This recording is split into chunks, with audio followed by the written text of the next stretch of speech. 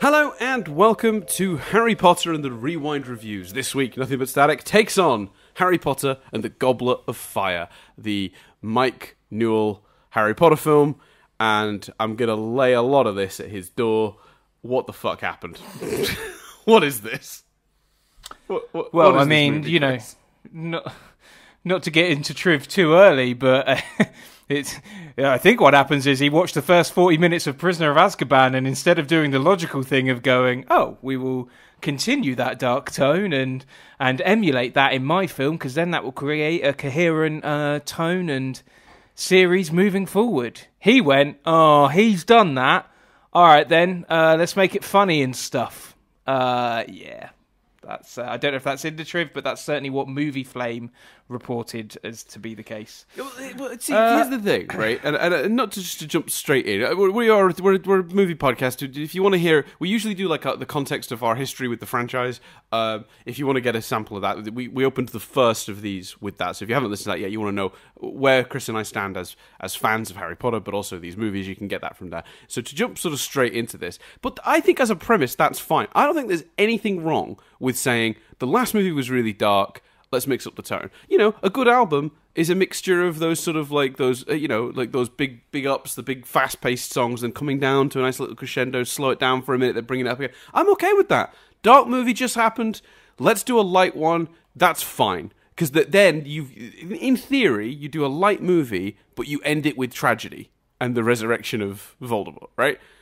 On paper, I actually don't think that's terrible as a direction in execution, this is the most manic, stressful thing I've ever sat. Like the tone of this movie is ADHD, But is it? But, it, and, I, but it's and I say a- that as someone who very likely suffers from ADHD, you know, lives with ADHD. It's it's absolutely insane. This movie. Go on, what you saying? But you know, but but what's nuts about it is it's one of those. It's like uh, so. Yeah, let's just jump straight in, and like Dan said, the context is in other places, and and yeah, I uh, two two big things. One, this movie makes me realize how much I forgive Prisoner of Azkaban for just as we discussed last week being ill-taught and cinematically beautiful because some of the criticisms I'd level at this movie are absolutely also criticisms of Prisoner of Azkaban. But the problem is, it's such a mess, this movie. I would use the word mess because how can you get some things right, like going, okay, look. I mean, and it- I think this movie gets a lot of credit for cutting out spew. Spew is one of the most obvious things this movie could cut out. Like, uh, so I don't, I don't think it gets any points for that. Some things are going to have to be cut. It's a massive book. Cutting out spew, cutting out the Dursleys, obvious And- wins. and Winky. I- and Winky, yeah, just just clear things Ludo that can Bagman. go. And that's what I was going to say. Ludo Bagman is the real one where it's like, you got that right, movie. I can see a world where they try to sort of do Ludo in the way that Fudge has a presence, but kind of you feel like Fudge has a presence because he does in later movies as well. Like, Ludo is the real one where it's like, that is a smart decision.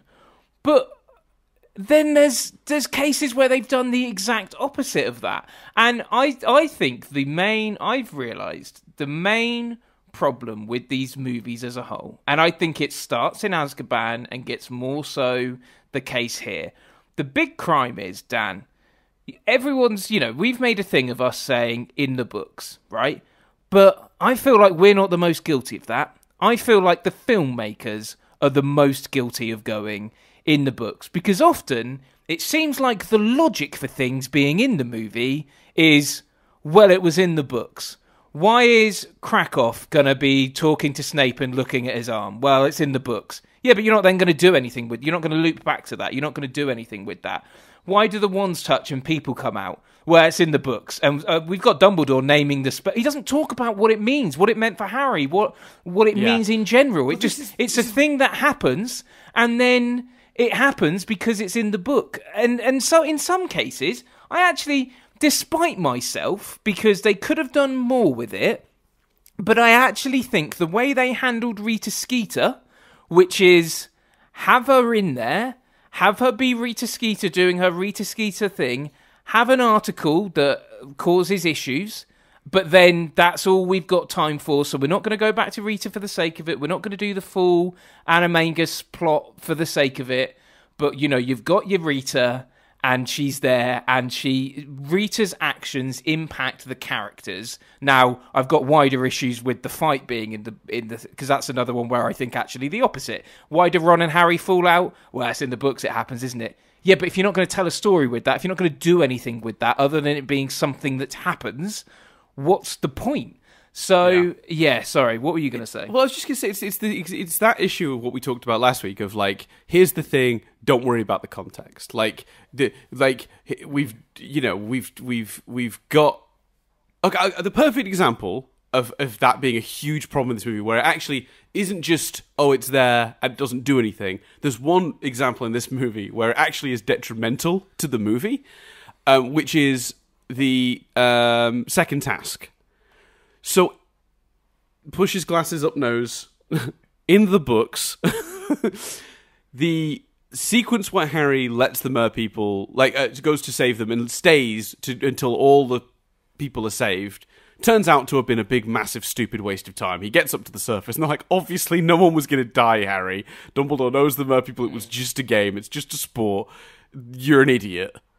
And then the joke is, oh well, you know, your idiocy turns out to be moral fiber, you know, fucking typical Harry, you know, blowing it with stupidity but coming out on top anyway, right? Or, or you know, oh, or uh, Dumbledore Harry bias again, you know, whatever. Like there's a joke to be done there, right? But in the movie, right, if you've not read the book and you do not have that context, it is at hundred percent uh, a possibility that you would watch the sequence as it plays out in the movie and come to the conclusion that those people were in danger and that the school was recklessly trusting the lives of those four children to the other four children rescuing them. Because what the movie presents is just that Fleur is thrilled that he saved her sister. Not the joke that comes after that, where someone says, you know, she wasn't in danger, right? Not that. Not that at all. Just she was in danger. Because they've kept the bit in the book where Harry does that and chooses to be you know, to, to, to put moral fiber ahead of his winning the competition. But they've not chosen to include the context of, well, that was very stupid, actually. So what you get is a movie where it is genuinely feasible that a person would watch it and come out going, well, Hogwarts was going to kill those children quite happily, quite contently, for no reason, just for their dumb competition. Blood sport at Hogwarts. Goodo. You know, that's what it comes across as. And I totally understand someone coming because there is nothing in this movie to contradict that. And that's one of those points where, again, context matters matters. You either put it in and you put it in properly and give it the context, or you don't include it at all. I actually feel differently about Rita Skeeter. Cutter. She adds nothing. She adds nothing to this movie. She doesn't mm. even have. Uh, uh, her article barely gives Harry a character moment. Or Hermione, it's just. But, it, but at least it's. They're slightly annoyed com- for about it, ten seconds, and then we move on because the movie is chaotic my, and schizophrenic and all over the place my literal note because I made some notes after because we had to watch it because of timings. We had to watch it two days ago, so I made some notes after. And my literal note does say Rita Skeeter doesn't really do anything. But the more I thought about it, the more I was like, at least it's a complete thing. At least they do like a complete thing with her as opposed to crack off and and um flipping another one. Here's one for you. Why why is Fl- why is it a v- why are they Veelas? You've not you you're kind of you, they're doing this weird dance as they enter. The boys are all reacting. If you've read the book, you know what that means, but you haven't set them up at the Quidditch World Cup. You haven't you're not doing any doing anything with that. So why include it for the sake of including it? See, like and, see, that, and one I, that one I'm okay with because I don't think it's that they're Veelas. I think it's that you know teenage boys saying a bunch of sort of like re, you know, attractive French girls sort yeah. of strutting through the hall. The joke is, you know, teenage boys' jaws agape. You know, that, that I think that works fine. I, I don't think you need to. Uh, but, uh, you know, it's it's, just... it, it, it's not like at any point. You know they actually have magical Veela powers, and only and I believe only Fleur is part Veela anyway, even in the book. So I don't think. Yeah, that, yeah, yeah. But I, it's just maddening to me how some stuff they can get so because uh, look, it's a muddled mess, and as a big fan of the book, I hate the Barty Crouch stuff and the way they've handled it. But I can't deny if the line was with Prisoner of Azkaban was Could you still follow it? Actually, I can't deny that in this movie, as much as I don't like it because I don't like how they the changes they've made, you can follow it, and some set, some decisions, some elements of it, such as sh- oh the weird tongue thing I fucking hate, but like such as embedding the polyjuice potion, hinting at polyjuice potion all the way along, which isn't isn't in the book. Is apart from Snape's cupboard and a mm-hmm. few things, but you know you don't have Moaning Myrtle say about it. Mm-hmm. Is is a good move. That some decisions make sense at least. well, I, I actually think generally, I think they actually handled the Barty Crouch thing in the best way they could have. Uh, uh, honestly, I I, know you said you didn't uh, because I honestly think cutting the entire he was in Azkaban, faked his own death, all of that stuff. Harry seeing his name on the map and not really understanding why, uh, thinking he's his dad. All of that stuff. His dad slowly going mad over the ser- over the course of the of, of it because he's being controlled with Imperius. All of that, just yes, please get rid of it. None. It's all And- in a movie like this. Trying to explain any of that makes no sense. It is so much easier to simplify it and say, look, Barty Crouch, who works for the Ministry, his son was a Death Eater. He's back helping Voldemort, as some of them are, and he snuck into Hogwarts under the guise of Moody. Yeah, and uh, That's and that, clever makes decision. way. that- that is a really clever way to streamline that story and uh, uncomplicate it. and the clever decision of it not being, you know, who who cast a dark mark and all of that stuff. It not being because I think movie because movie flame. I know I keep referencing him. He's done video essays on each film, and they're they're worth a watch. Twenty minutes, nice little watch. He doesn't like that some of the mysteries have been taken out, but actually, I think it's quite clever to not rather than who cast a dark mark being a mystery. The the the twist, the reveal in the film is Mad Eye Moody is Barty Crouch. Like that, and that twist and all of that stuff is handled great. The only thing, because like I say, whilst I my to clarify, my whilst part of me doesn't like it, that's the part of me that wants to see a twenty-hour TV show adaptation of this book that doesn't like it. As I said, as a compared to some of the things like um, Krakow, if I'm saying his name right, the headmaster, Karkaroff. Karkaroff, uh, you know, unlike un, unlike half, I'm never going to say it right. Un, unlike You can just keep unlike calling that, crack off. That's fine. uh, unlike that, where it's like you put some things in but don't give the conclusion, I think the Barty Crou- Crouch thing, I bring that up as an example of something that I think A, matches the Prisoner of Azkaban test of my memory of it was it didn't really make sense. Actually, this makes even more sense. It's even easier to follow than how they adapted the Mor- Marauders and stuff. Uh, the only thing I don't like about it is is the notion that at the end it's like I think they probably maybe should have killed him or something because he just gets sent back back into Azkaban in this. So why isn't he in all the other movies? like if Yeah, I because was everyone that's in watching these- Azkaban is broken out of Azkaban in the next Yeah. movie. Yeah, yeah, yeah. if I was if I was watching all, if I was watching just the movies, I would be going, "Where's that guy gone to?" Which again is my whole thing of it feels like they put stuff in there because it's in the book and they feel like they should and it just doesn't matter if the movie Right. itself doesn't have all the context. And that I think I've concluded already, and you know, maybe I'll go back on it, but I don't think I will. That is my biggest problem with these movies because actually don't do that. I haven't made up my mind on this, what they should have done. I just know I don't like the half ass that they did. But the Quidditch World Cup is a great example. Because on the one hand, I think it's quite clever to start at the World Cup and him move the dream to him having the dream at the World Cup. But Are you about to reference? uh, oh, guys, I can't wait to see this great Quidditch World Cup smash cut. Yeah. Wasn't the Quidditch World Cup great?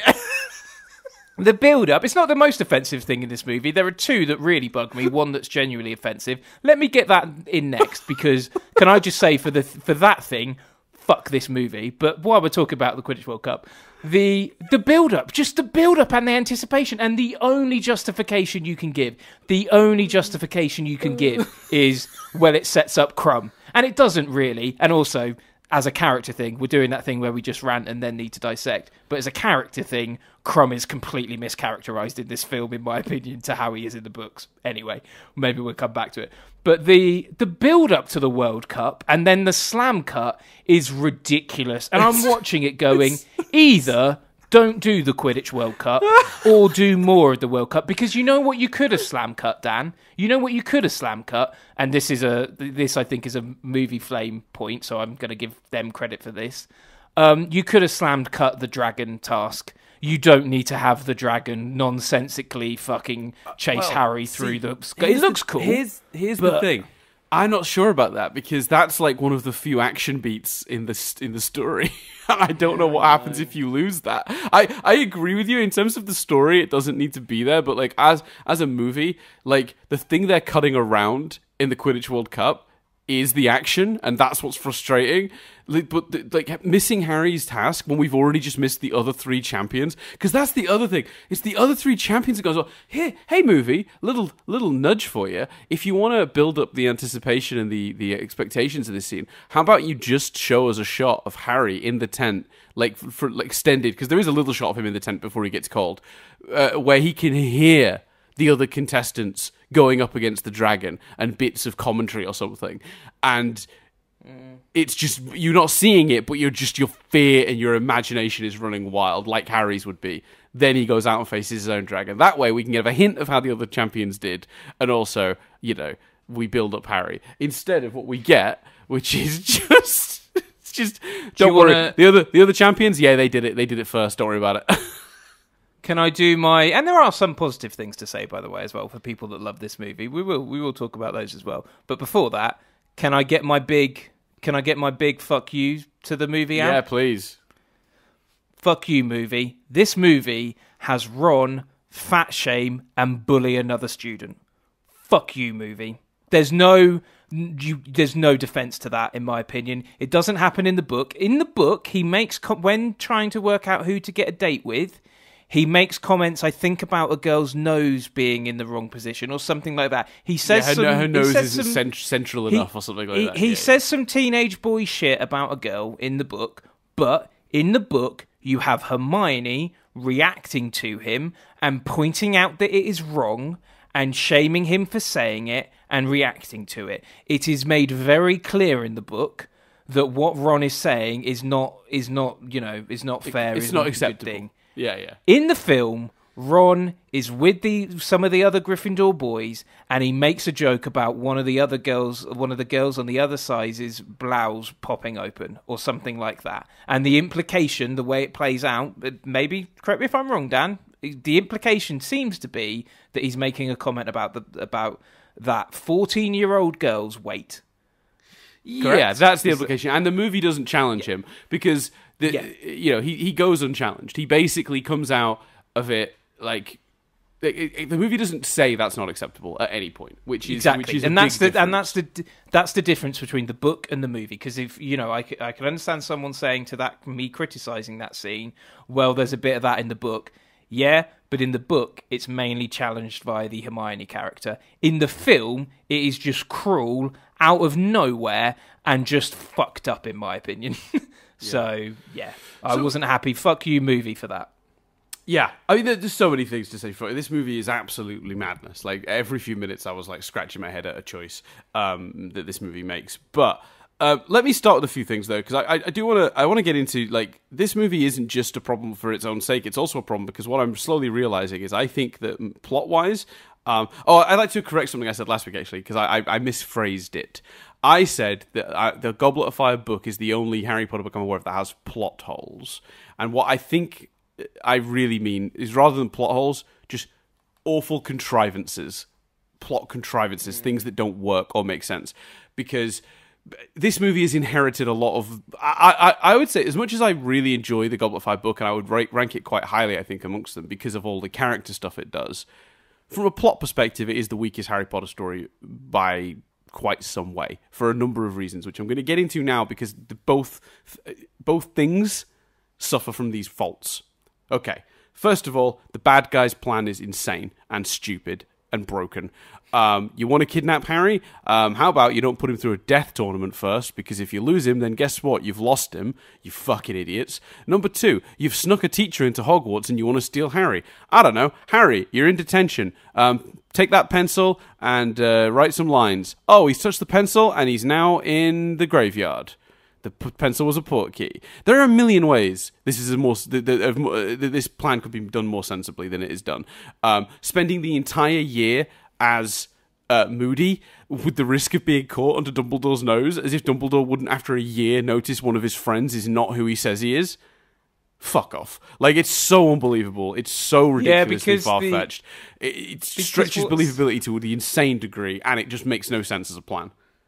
what's nuts about it is Moody has to genuinely like form a good relationship with Harry and mentor him. And I, because one thing, and not to kind of, this is a big kind of, I think, last episode of this thing. Um, I will say one positive that I didn't expect to come out of this experience. Don't know about you, Dan, but it's it's got me a bit more back into Harry Potter. So I listened to Stephen Fry do the last few chapters of Prisoner of Azkaban because I wanted to, you know, check my my theory that it wasn't as detailed in the film. Um, and I just I kept listening. I just kept I just went to the end of that book and then I just started Goblet of Fire. And the other day we went away for the weekend. I took the physical copy of the book. I read it. I, I'm I'm just about to go into the second task. And uh, yeah, so one thing I will say for doing this, um, I think that's nice. I'm I'm pleased with that. Um, but one, like you say, kind of plot issue with it is Moody has to genuinely form a good relationship with Harry and come across like he genuinely admires him. And the defense of that is, well, he's playing a character and he's playing a character well, but like it's a bit like it's a bit hard to to buy that. Like it's a the, bit the other the other problem is with with this as a story is that the next book acts like Harry. There's one throwaway line about how Harry didn't really know Moody because he'd never actually been taught by him. But actually, they act as if all the character development for Moody in this book slash movie counts. even that's even worse in the movie, I believe, because I don't think the movie acknowledges it.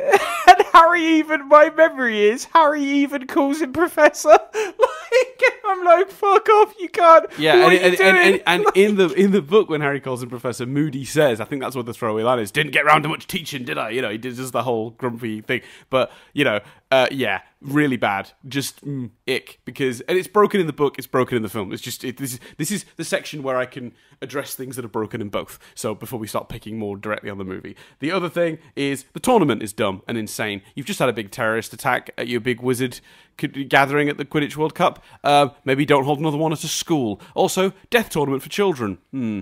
Um, not sure that's a good idea. Uh, I know they did the age line thing, but this is an insane idea. I don't understand it. Literally, they spend the entire movie and book telling us how dangerous this tournament is and was, and yet they still let children participate. It's insane. It's it's, it's, stupid, and it's begging for trouble. Um, especially especially tasks one and two because tasks three to some degree and i can't remember the danger levels of the book because i've not got there yet. But to task three some degree people could jump in. But what is their plan for a pupil drowning or getting burnt alive by a dragon? Like what's the what's the how do you suddenly like i understand you're never going to let ron hermione cho and fleur's sister drown. You can quickly evaporate them to the top or the mermaids can bring them up if it looks like they're going to. I understand that. But for the dragon fire well that could that could kill someone couldn't it yeah. So yeah, it's a, it's a stupid idea. And then at the end, you know, Cedric said, "Oh no, someone died at our death tournament. What a shock!" Like I, I like I, I'm consistently beguiled. Also, because both the movie and the book actually do a really good job establishing something's not right, and the characters that we are to understand are smart and clever and know these things are sensing it too. So we have Dumbledore in the book, uh, and well, in the in the book it's Sirius that says it, but in the film it's Dumbledore. Something's going on. There's some sort of plot occurring. Things are going mad. There's just there's all sorts of weird stuff. We should maybe not do the tournament now. Like after the big terrorist attack at the at the Quidditch World Cup, which is larger by quite some way in scale in the film than in the than the book Yeah. he's, he's, Yeah, he's- 'cause he- oh, we- we'll just we'll just hold another event and we'll do this one at a school. Like maybe uh, maybe rethink that. Uh, maybe things aren't quite uh, so copacetic. Like maybe things aren't quite so calm and, and peaceful in your world right now, and maybe that isn't the great time to bring back the Triwizard tournament. Um, then there's obviously the practicalities of the tournament. Uh, uh, they, they've clearly only brought a handful of children from Bobaton and Durmstrang. Um, are those kids doing lessons? Are they studying? Are they just a, do they just miss a year of school? Um, we know that the the the the, the, the, the the tournament champions that are selected don't take part in exams. Um, uh, you know, so they can focus on the tournament. Uh, what does Cedric do for career? Like when he doesn't have owls or whatever. Well, I mean he dies, but like what's what's he supposed to do? Not having done that, he's supposed to put. Oh, I didn't get any exam results, but I did do the Triwizard tournament. I did do a sporting event. Um, uh, just insane. I, I don't understand it. I, I assume. I I don't think it's clarified. I assume they get taught in the boat and the and the ship, uh, the ship and the. But what's ba- what's happening back at those schools? They're just without their head- headmaster and headmistress for a year and a dozen of each student. Yeah. Oh yeah. Oh yeah. No, I'm not. Yeah. No. I. Like, I- flaws I- in both the book and the movie. It doesn't make sense. It doesn't really work. I'm like it's it, it never sat right with me. Can we add? Can we? I don't know. I assume you're not done, but can I just chip in with um, I think I'm the pretty much fact done. that the, the the fact that the second and third tasks aren't actu- actually visually appealing for those in the crowd to watch. Oh yeah, And in yeah, this yeah. Oh, in yeah, the- that's in part the- of my. Yes, the- that's a subsection of my. The tournament is dumb uh, criticism. In- yeah. in What, what, why is there the- a crowd for either of those tasks? Well, in the film, arguably with Harry's go at least with the dragon, even the first task is like you can't they can't see anything underwater and they can't see anything in the maze. So what's the point of having a crowd there? Like imagine if and, you were and I just think they try to cover it in the book maze. with, with commentary. Like Ludo Ludo Bagman provides commentary, but you've cut his character. Um, yeah, mad. And also, just like Quidditch, the scoring system is broken in both the film and the book. Now, in different ways. In the book, it's just insane that at the end of the day, those first two tasks were just to get a 10 second advantage in the maze. I would literally just get to the dragon and be like, nah, I'll come last, thanks. I'll take my chances in the maze. I'll, I'll go in last. Cool. Take care, guys. Bye. and then I get to the, the, the, the river and be like, anyone actually going to die? No? This is just a, a game? Okay. Um, I'll let you rescue uh, and pull up my. I'm just gonna wait, and I'll I'll, I'll, I'll go for the cup in the maze. Like it, it, like Quidditch. It's a weird, weird thing where like all of the build up is just like absolutely pointless. You just, you just want to do well at the last bit, catching the snitch, gra- grabbing the cup. That's where it Well, matters. I mean, you you you say that, but you know, Krum Krum caught the snitch and the snitch, and Still Ireland won. So, in the book, at least, in the film, fuck knows what happens. We don't get to see it. Well, but, yeah, and, uh, yeah, and they, they try to pass it. It's because it's because they wanted. It's so funny because you can so tell in the book what J.K. was going for. She wanted Ireland to win because she wanted, you know, she wanted the, the our characters to have jubilation before the disaster that follows. But she also wanted to establish Krum's skill, so she had to find this weird thing, Yeah. like where he knew they were going to lose and was just ending it sooner, which is just an insane explanation for it. Anyway, doesn't matter.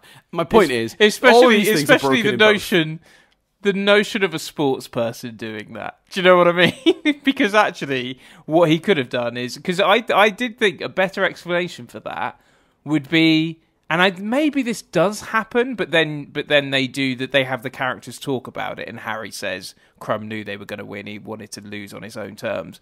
Why didn't they just have the other the other seeker like really going for it? Because then it's like, well, he had no choice but to grab the snitch, because otherwise the other the other team would have grabbed the snitch, and he wouldn't have wanted that. He- You know, he wouldn't wanted to lose by that big a margin, so he caught it to avoid them completely trouncing them. Is a much better explanation for why he does that than the one that's offered. That is a book thing, but yeah, carry on. Yeah. So, um, yeah, those are things that are broken in the book. Uh, so I'm forced to con- contend with the notion that this might be structurally and like logically speaking probably the weakest book. I do think again I still really enjoy that book. It's still high on my ranking because I really think they do some really good character stuff. The Ron and Harry uh, d- d- friendship sort of imploding in the, in the early parts of the book's really good.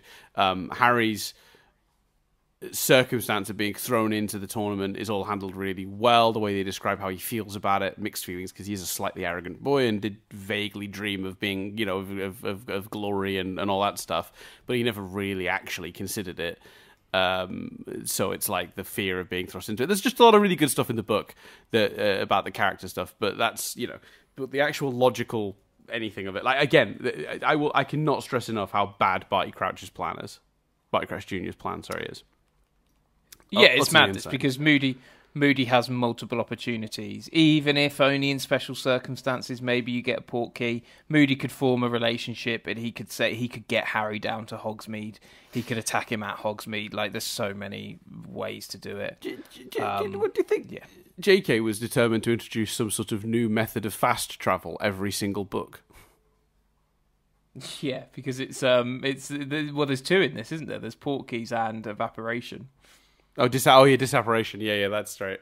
Yeah, it's, and then of course yeah, we've got Floo powder, and then we have them traveling by um, Thestral in another movie. Like that's my question as well. Is like yeah. it, when you go back to Philosopher's Stone, and you like the the, the, the Quirrell's great plan was to, to trick Dumbledore into going to the Ministry, saying that they needed him there, summoning him into the Ministry, but actually he didn't. He wasn't needed there. It was all just a, was a trick.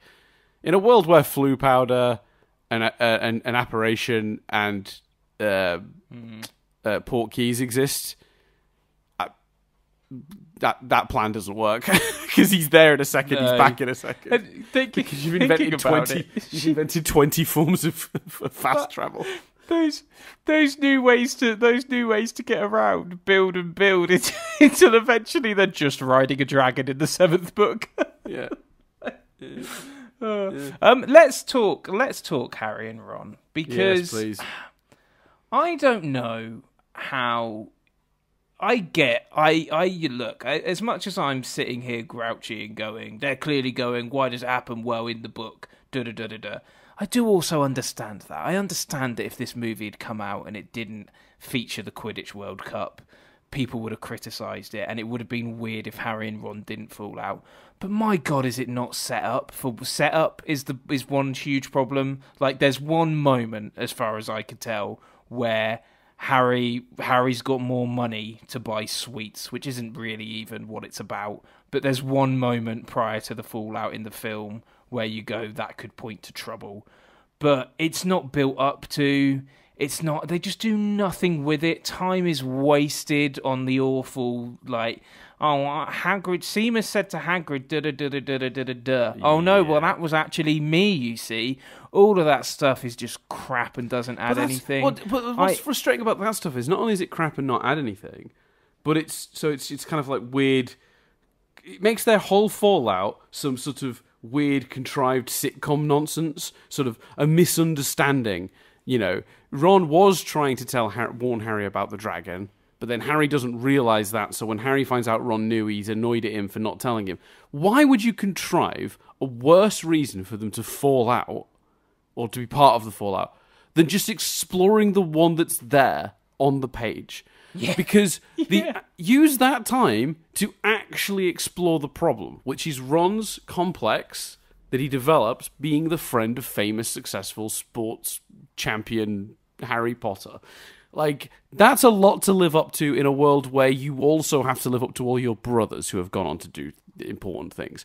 It's a really rich and very logical character piece in the books. And when it's sitting there, and Kloves sat down and went, nah, not going to explore any of that. Pfft, boring. Let's have a misunderstanding be at the crux of this. What? Are you fucking insane? That doesn't save time. It doesn't do anything. Use that time to tell the actual story, you piece of shit. And hey, if you go, well, actually, it's kind of pointless because the way the movie's structured, you know, in the book, like that small section of the story between Harry getting the um, uh, Harry uh, getting chosen and the dragon is pretty quick. So, you know, we can't go into too much detail because it's only really a small part of our story. Well, how about you make it last longer then? maybe Ron and Harry have fallen out till the second task. Yeah. That's fine. Yeah, completely. I'm okay and with you, that. And and there's loads of little nuances. You rather than this weird contrived Harry hinted at the dragons through the backwards way because Charlie, who we don't see, told him. Just ridiculous. Why is that there? Because it's in the book that it's Charlie, so it has to be. Like if you want to, if you want to have some Ron does still care nuances, keep the the little ones that are in the book that you could keep. Like for example, it's Ron that interrupts Sirius talking in the book. But when Harry asks what he's doing, Ron says, I just wondered where you. mm, Never mind. Like, Ron's worried about where Harry is, so he goes looking for him, even though they've fallen out. You could put that in, no problem, in this film. And I tell you what, that one 30 second sentence will be a much better moment than that weird bollocks about how Ron is the reason Hagrid showed him the dragons. Sorry, the, I lost you a little bit there. What was that last sentence? that that one ha- that one sentence, that one 30 second sentence indicating that Ron still cares will be a better moment than the, the weird half-assed way Yes, round agreed. that Ron helped hint. A hundred percent.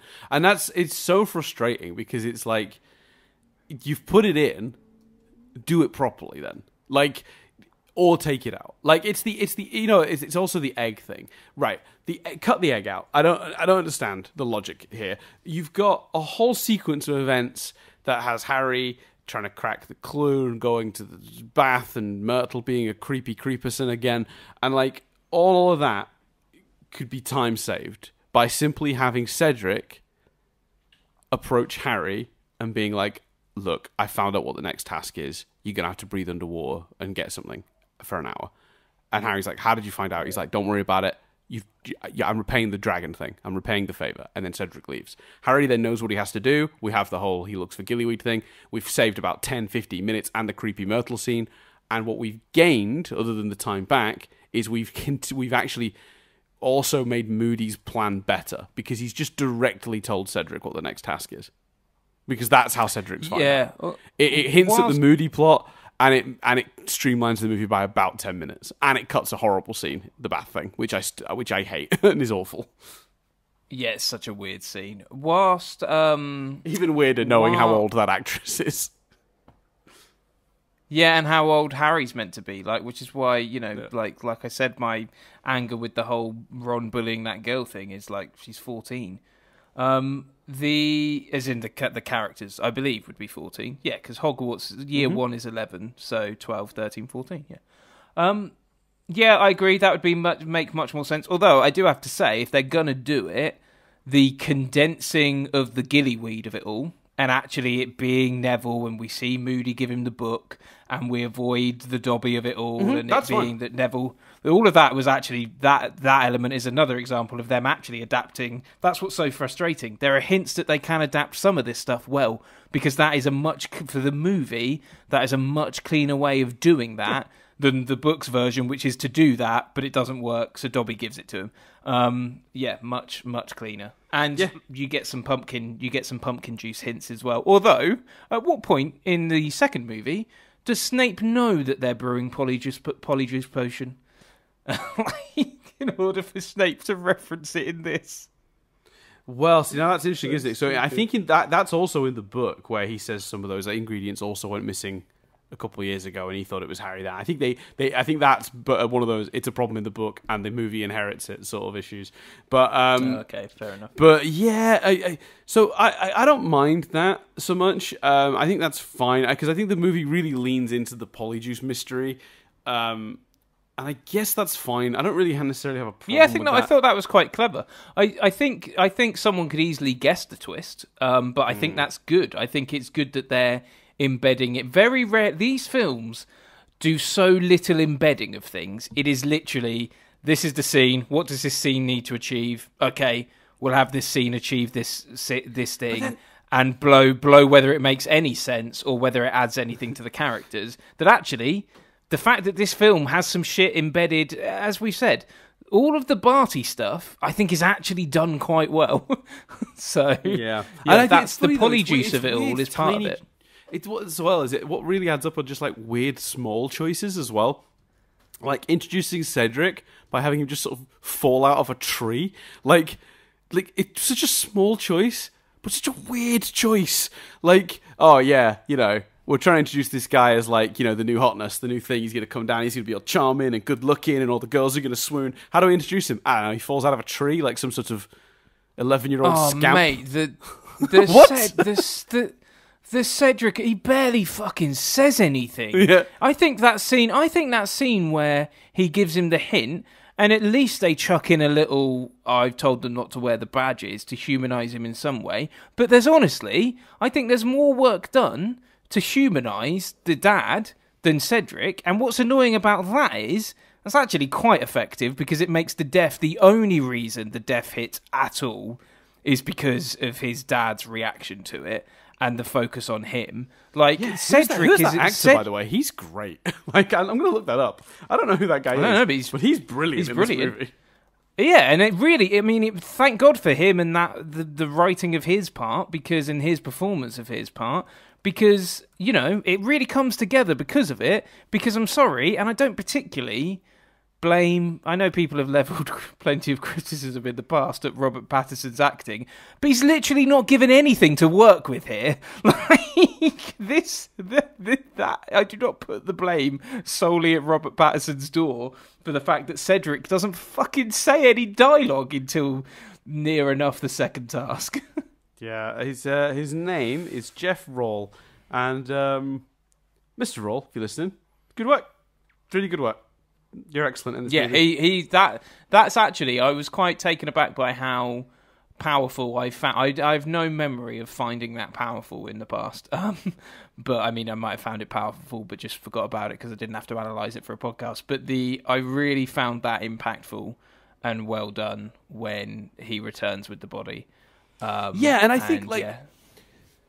you know, okay, you're not going to take the time to like. This is the other thing. Okay, there's two. Ah, too. This is why Rita Skeeter is a pointless inclusion. There are already you're introducing too many characters to have time to do any of them.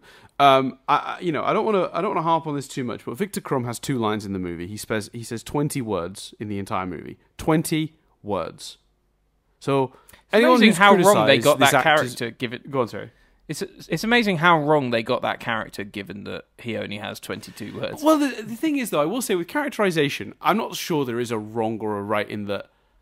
If you want to do a different thing with the character that the book did, if you have a different interpretation of the character, I don't think that's necessarily a problem. But you've got to give him enough lines to express it then. So if they've made a deliberate decision, this Krum's different to the book Krum because we have a different thing we want to achieve with him, right? Okay, I respect that. As a creative, you want to make a different choice, make that choice then and actually do something with that choice.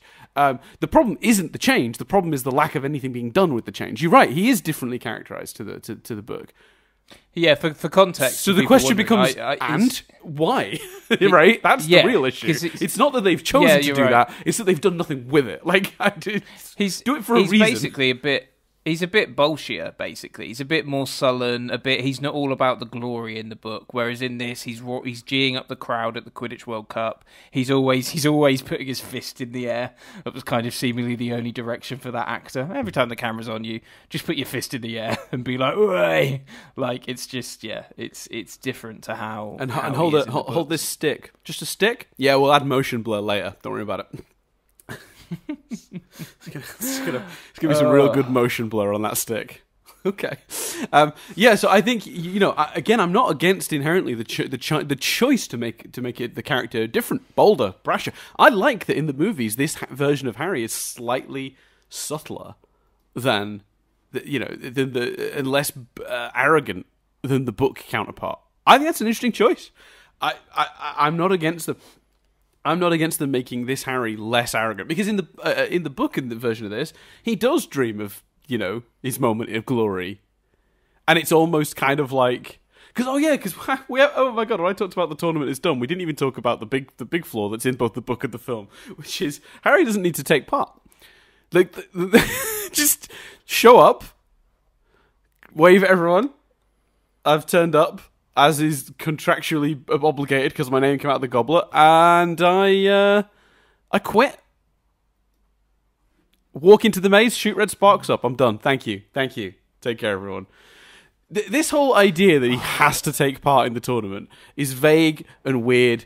And they talk about magically binding, but they never define it in both the film and the book. Fuck that. That makes no sense.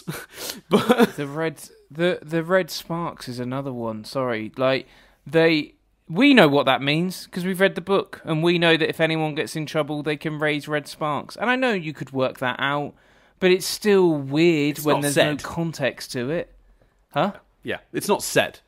Yeah, Yeah, it's he- just odd because I, I would watch it and go, well, what's going on there then? Yeah. So for those who don't know, in the book, that, that before they go into the maze, they're told if you get into any trouble and you wish to be rescued, the maze is so large, we're not going to necessarily know you're in trouble. So shoot up the red sparks. We'll see those from a distance. We can come in and we can help you. We've got teachers, you know, teachers and other, you know, uh, ministry people uh, around the perimeter of the maze. They'll come in and help. So Harry sends up the red sparks for Fleur. So she gets assistance and isn't just left in the maze, and then he carries on. In the film, he finds Fleur, shoots Red Sparks up, and fucks off, which I could be interpreted as, "Hey Harry, maybe use some of that magic to help her." Like, you know, she's clearly injured.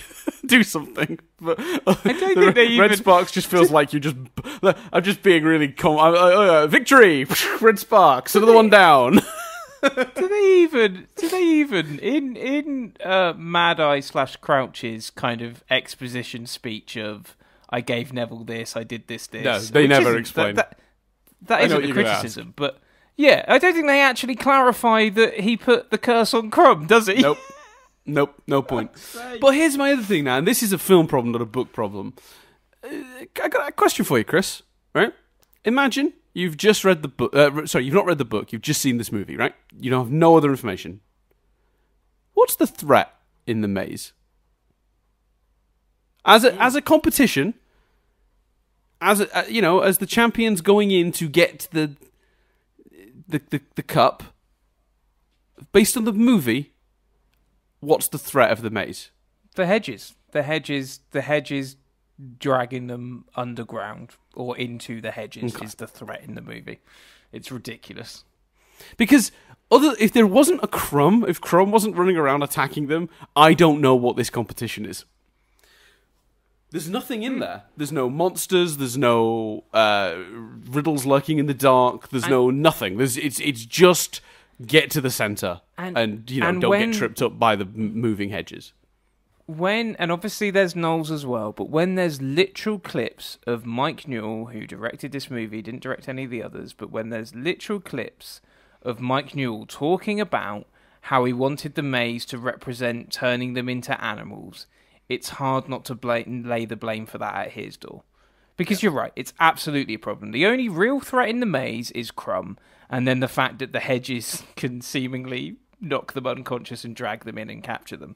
But that's not that's not a thing. We've built up to we've built up to bad shrubbery. Like what's and and Krum and Krum's now a bad guy because in the film there is no context as to. I mean, I suppose his eyes gloss Yes. over the way we've seen that curse used in in other parts of the movie, um, but it's just not really explained. And I just again like, and I don't want to. I, I, I will make an effort not to repeat this point, but it really, I really felt watching this movie. Ah, I can really pinpoint it now.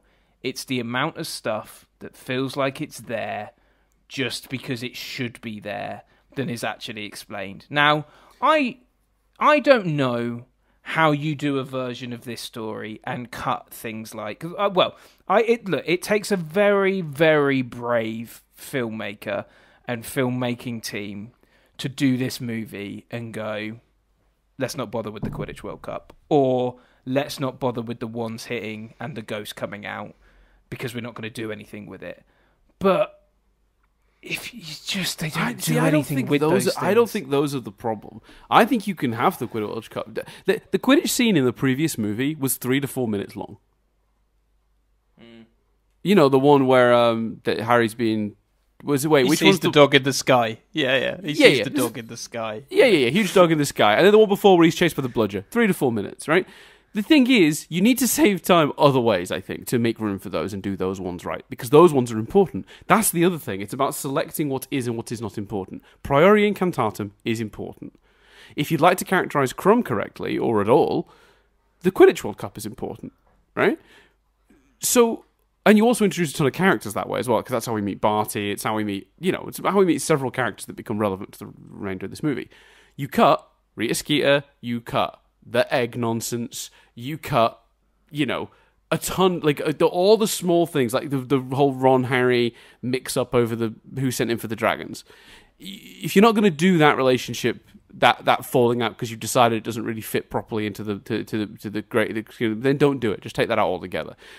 I think Priori Incantatem is really important, and I think that should be kept. I think it should be kept because you, it's it's well, it's just a, it's a huge part of the lore going forward, but also it's like a it's one of the most iconic visuals from the book as well, having all of Voldemort's ghosts, you know, the ghosts of those he's m- most recently murdered surround him to distract him for a second to give Harry that moment to escape. Because the other important thing about that is you don't have that question of how did a teenage boy escape Voldemort yet again. Well, this time he had help. you know, he always has help. That's the whole point of Harry is it's love and it's his relationships with the, those around him that keep him alive when otherwise he would be dead. You know, he, without his mother's sacrifice, he would have died as a baby without the, the those ghosts, those those memories, whatever you want to call them, those those visions of the people, uh, you know, that that Voldemort has slain, taking action in that moment. Harry would have died there too. So I think Priori Incantatem is really important. I don't think you. I don't think there's a version of the script where you cut that. But let me tell you, you can definitely cut Rita Skeeter. she does not need to be in this movie. You know, they found it in their hearts to cut Dobby and Winky uh, and that whole subplot. They found it in their hearts to cut the whole Barty Crouch Jr. escaping from Azkaban by pretending by swapping with his dying mother and faking his own death and all that nonsense. You f- f- you know, there's no Bathilda Bagshot. Great, you've you, you know you've you've chosen to cut so much stuff. Then you need to just go that little bit further to make room for the other stuff and just, make the stuff you are keeping explored properly. They they got the ratio wrong. Not, it's it's not cutting that, and I can't name the spell, but it's not it's not cutting the spell then when the wands meet, but just add a just add a line where Dumbledore goes. This means your wands probably can't fight each other because that's going to be relevant later. Don't have him just name the fucking spell, like, and maybe make an attempt at touching on the fact that Harry's just seen his dead parents, like, you know. Mm-hmm yeah, that's what I'm saying. Do something with it. Do, do it properly. Do it's a meaningful moment. It. It's the same problem. It's here's the moment without the context, without the actual benefit, without doing the thing the moment is there to do because we've stripped it back to its barest bones. And that's because the movie is overstuffed with a bunch of other shit that doesn't need to be there. Uh, you know, and, and, and, and the funny thing is, a lot of it was accidents. You know, the, the, the, actors that play the Dursleys were too expensive. They they asked for more money for this one because their their original contracts were expiring. Um, so that's the reason the Dursleys aren't in this movie, not because they made a smart choice. Mm. And I think that's a that's a really good choice. You know, but here we go. You know, we're we're in a world where that would have been in the fucking movie otherwise, and we don't need it. um, uh, you know. T- cut down Madame Maxime to a nothing role then if you if you you know or or you know because giving her a tiny bit of Madame Maxime but not enough not because that's the other thing here's a character without their uh, uh, you know their relevant plot. Madame Maxime in the movie they even have a hint of the scene where Hagrid and her discuss the giant the giant blood but they don't actually then play that out into a character beat for either character. So why is it here? Take it out. It doesn't need to be there. Madame Maxime can just be the funny quirky headmaster of the other school that's it. That's all she needs yeah, to be. Completely. Why are we spending time showing a scene where her and Hagrid are having that conversation?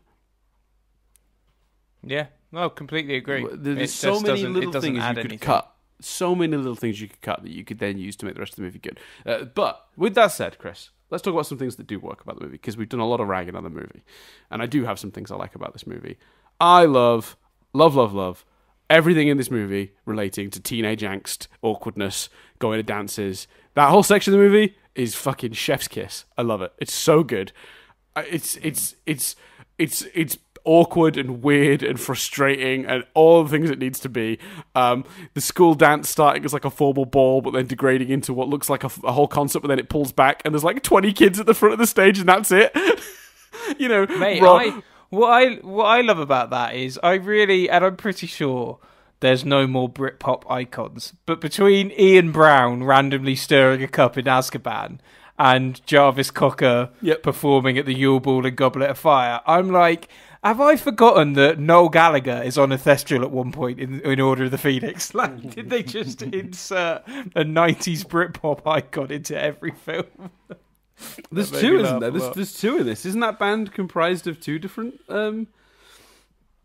Let me Uh, see. might be. I only really noticed. Um, is it maybe someone from Radiohead? Radiohead? yeah, there's someone from there's someone from Radiohead Cocker. and someone from Blur. I think. I think. Oh, really? What the band is just completely made up of? Yeah, I think so. Let me let me. I'm gonna. I'll look it up. I'll look it up. I, I, I, you know, I'll, I'll, I'll, Yes, I'll I- Google it. I agree. Uh, I've got it here. Oh, you're gonna look it up anyway, right? That's fine. Um, yes, I agree with you about all of the Yule Ball um, stuff. I think the, you know what, not ideal because I like the awkwardness of it in the book, um, and also without being, this is a real in the book moment, but in the book, the joke is that Harry says, "You want to go to the ball with me?" so quick that it's inaudible. In the film, I'm sorry, you can make out what he said, Joe. You don't need him to repeat that.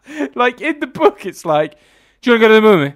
But in the film, it's, "Do you want to go to the ball with me?" Like, I'm sorry, you can make you can make out what he said there, Joe. You don't need like that's not you're doing the same joke, but the delivery is off to make the joke work.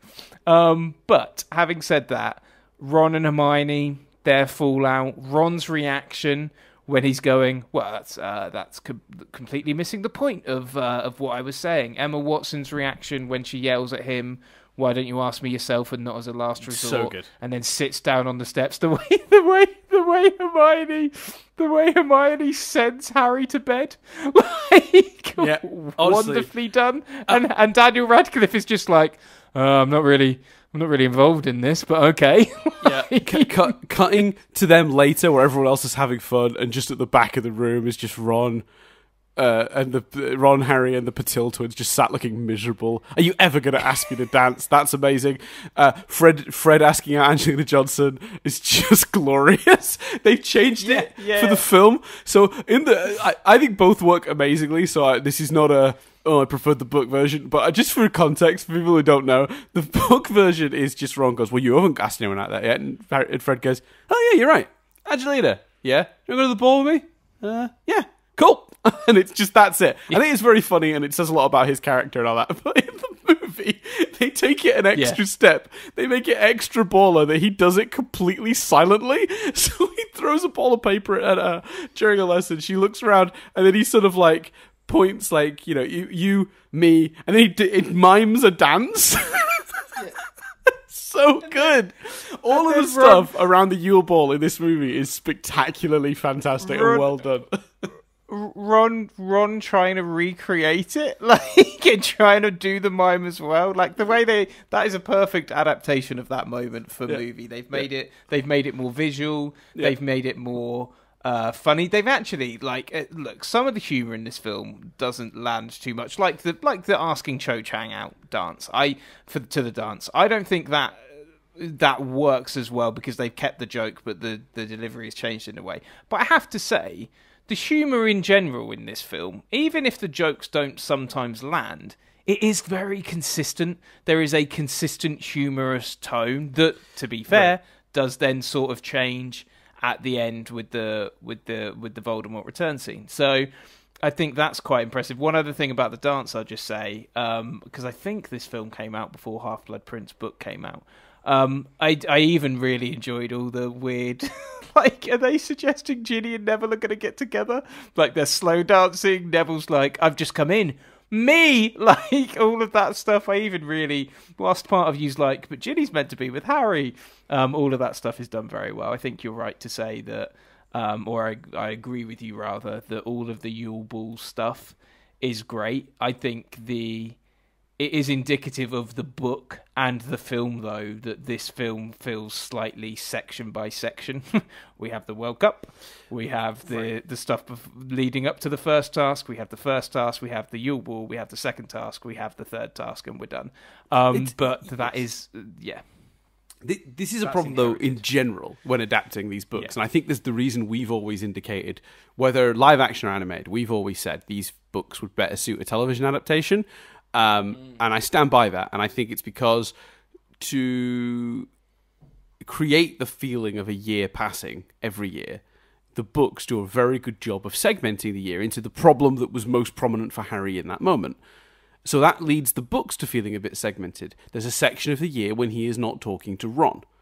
And it's a problem for him throughout that period of time. And they talk that he talks in the book about they, they, they I can't yeah, about how, how you know how he finds himself missing Ron and and and you know uh, you, know life isn't quite as fun when Hermione's your best friend is basically the implication mm. that they put in because she's a little bit more study heavy and a little bit more straight laced and you know he misses that part of the, that the reason their trio works is because they each bring something different to it that's important, but all one or all the other would be a bad thing. And they explore that, and that's really nice. And there's a section of the book where, um, you know, the whole school hates Harry because of the they the the, the perceived arrogance, uh, which is then exasperated by Rita Skeeter. And there's a whole section of the book when things start to turn around for him, where after the dragon task, people sort of like Ron forgive him you know, Rita Skeeter stuff sort of starts to dwindle and cause less problems for Harry and starts to cause more problems for Hermione. And so each section of the book is like it's to to, to, to show time passing the problems that are are, uh, are, are Harry is, is, experiencing just shift as the year goes on. Uh, to do that in a movie means you get these weird segmented stories, and that's why I was like, maybe be braver with the Ron stuff and act like that happened for a lot more of the year than it did in the book. Because then you actually have more time to explore it. Because you've only got, you know, five minutes per uh, per you know per month in the year or whatever to actually like explore this in the film. So maybe just make it make it take longer, make it last longer, so you, a higher percentage of your movie can explore that idea. Uh, because otherwise, the whole movie feels this very structurally is very segmented, and um, yeah, it doesn't isn't that cohesive. I think that's one of the reasons Chamber is so far one of the most successful ones because it has a story that pretty much ebbs and flows across a year. So it's all one story shifting rather than lots of little stories breaking out. And as a result, it makes for a way more cohesive single film than the rest of them did. So, uh, yeah, I think that's a real that's a real. Um, it, it's no one's fault as such. I just think if maybe you made bolder choices as a as a writer on a movie like this to, to, to restructure the Hogwarts year, you it would be different to the book, and some people might complain about that, but you might actually end up with a better movie. So yeah. Yeah, I'd say so. Who were the before we forget? Who were the Weird Sisters?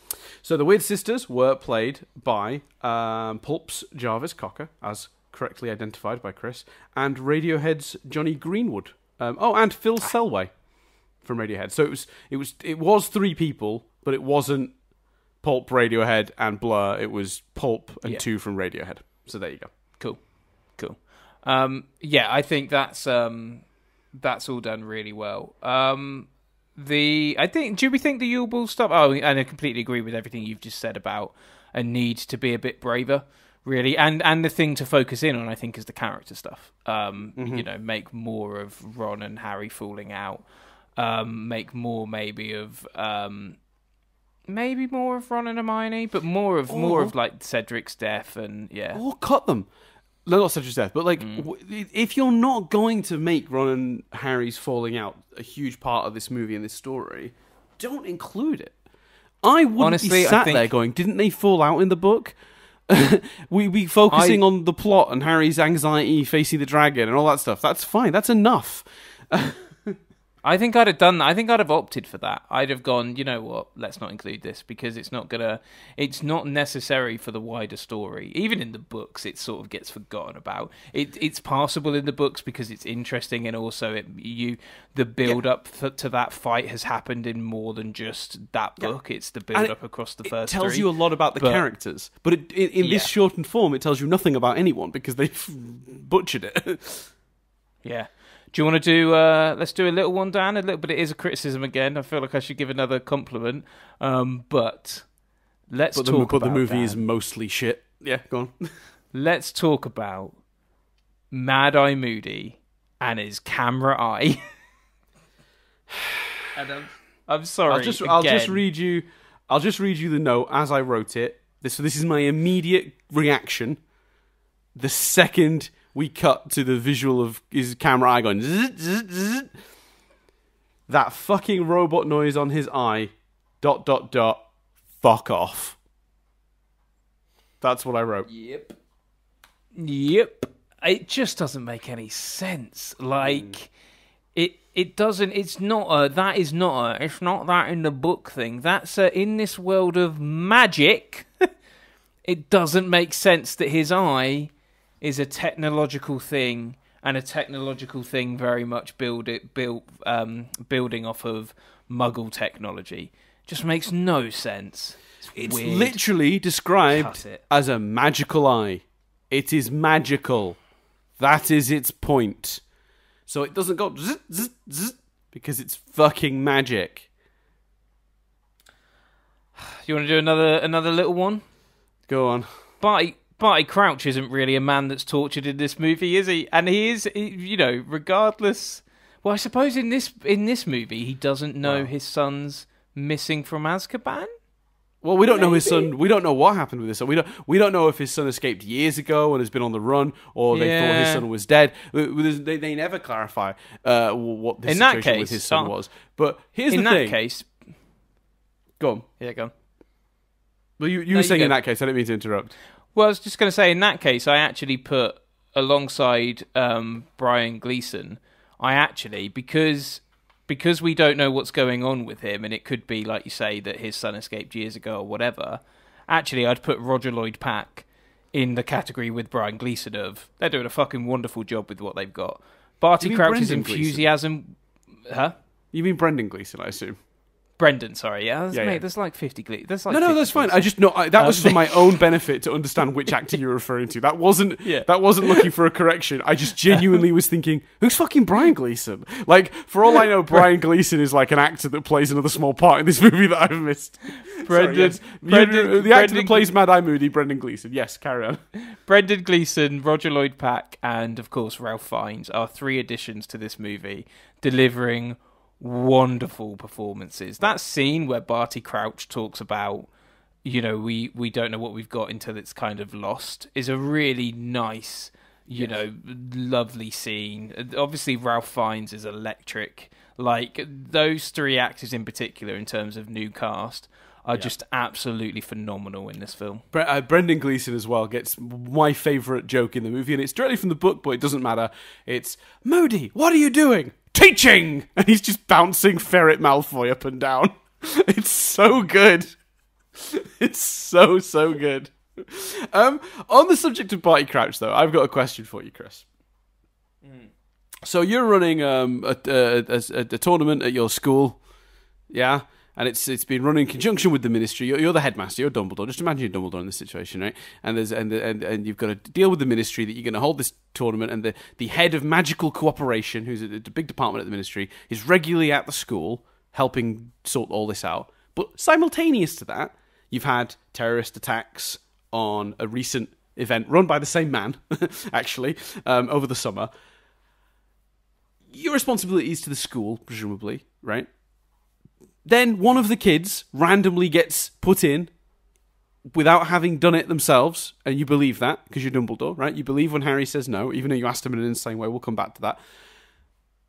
Then the head of magical corporations and games is found dead on your grounds, and you don't cancel the final part of the tournament. What, hmm.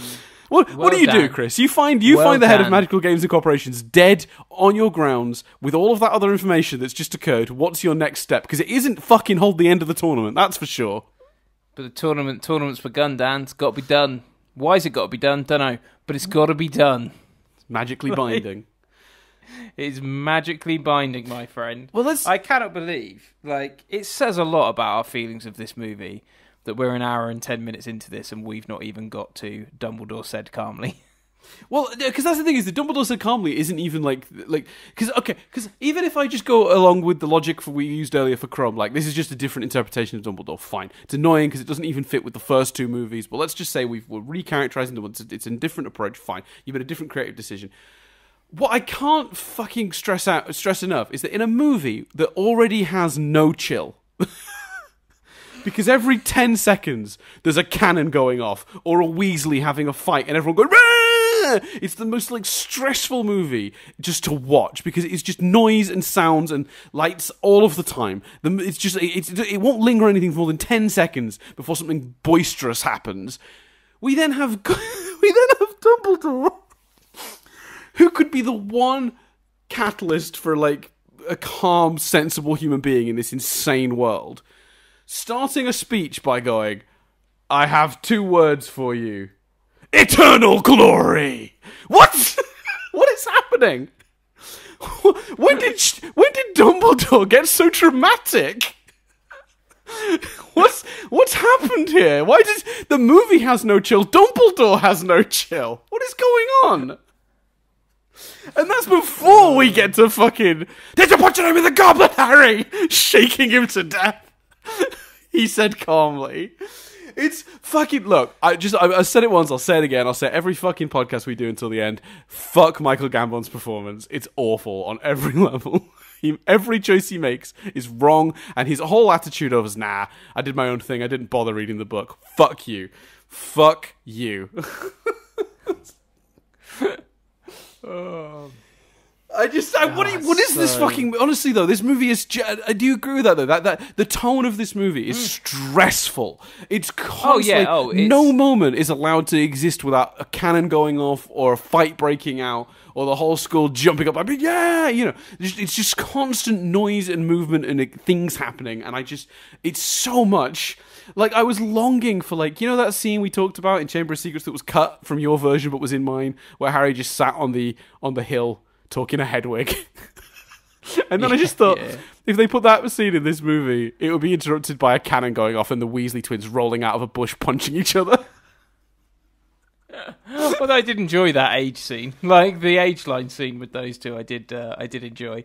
But Yeah. yeah. there's just no, there's no pace. There, there, there's no moment to reflect. Even moments like, uh, like the, like he finds. I've just got it up now.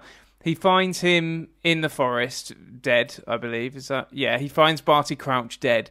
That could be a real somber moment. No, he's in the Pensieve. He's he's in a busy court, yelling about Snape and and Death Eaters and stuff like that. That's He's thing. out the Pensieve. We've got you know we're immediately in the third task. It's it's just such a it's such a speed, and it feel for the amount they've cut. It feels they basically I think a kind of overarching thing that we're saying here is for all they the good they've done cutting some stuff some of the stuff they have kept in for the sake of keeping it in because it's in the book is damaging to the pacing and character work. And if you get rid of some of that stuff and take the time instead to flashing fleshing out the character work you'd end up with a much better paced movie. Well, yeah, and on top of that, that's a problem created by a change that I do not understand why they made. So, uh, push his glasses up nose in the book. Say it with me. Barty isn't found dead. He is found raving in the forest. Harry runs to get Dumbledore, and when they get back, he is gone. What we find out later is he was then murdered and hidden by um, Junior. Now, the reason that's the way it is in the book is because obviously if you found the guy organizing the event dead in the forest when there's already a bunch of suspicious shit going on you would just not do the event right? But instead in the movie they create more problems by having harry found him finding him dead. Why not have harry find him babbling about Voldemort and his son and not being coherent and Harry being like something's fucking wrong here. I'm going to go get help. Uh, running off to get help coming back in he's gone. How much longer would that take than yeah, what and we this get Dumbledore, this this this Dumbledore's mad. I mean, you have Harry turn to Dumbledore and go, "What what could that be about, Professor?" I mean, obviously a, a better written line, and then we cut to them in the Pensieve together, and it's just in the movie. This version of Dumbledore is answering that question by showing him what happened in the Pensieve. well that's the know? other thing the Pensieve oh sorry did you call it a Pensieve Chris don't you mean the Pensieve I do. Because in this movie they pronounce it wrong the entire time it's a Pensieve Oh, did I actually? I just assumed then I pronounced something incorrectly again. Did I actually get it no, right No, in the movie? You got it right. You called it a Pensieve, which is what it is, and how it is pronounced, and how it's always been pronounced. And I do not understand what the choice was for this movie to call it a Pensieve. The Pensieve, Harry. Um, It's, and then also oh, one of the subject of the, the choices Dumbledore's making and just ignoring. There's a scene in this movie where the teachers basically acknowledge that Harry's name being included means there's some sort of plot going on that's going to be a threat to them, and they decide to just leave Harry in the tournament anyway on the grounds that, and I'm not quoting, but this is a, I'm paraphrasing, that'll draw him out. They're basically going to use Harry as bait to draw out whatever this plan is. They say that out fucking loud. And then the way the movie acknowledges that is at one point towards the end of the movie, Dumbledore says to Harry, Really sorry, Harry, about that thing where we used you as bait. it's one line at the end where oh, Dumbledore's like, Soz, bro. Anyway, did you put your name in the goblet, Harry? Like, eternal glory! what is this fucking movie? It's a bad movie, Chris.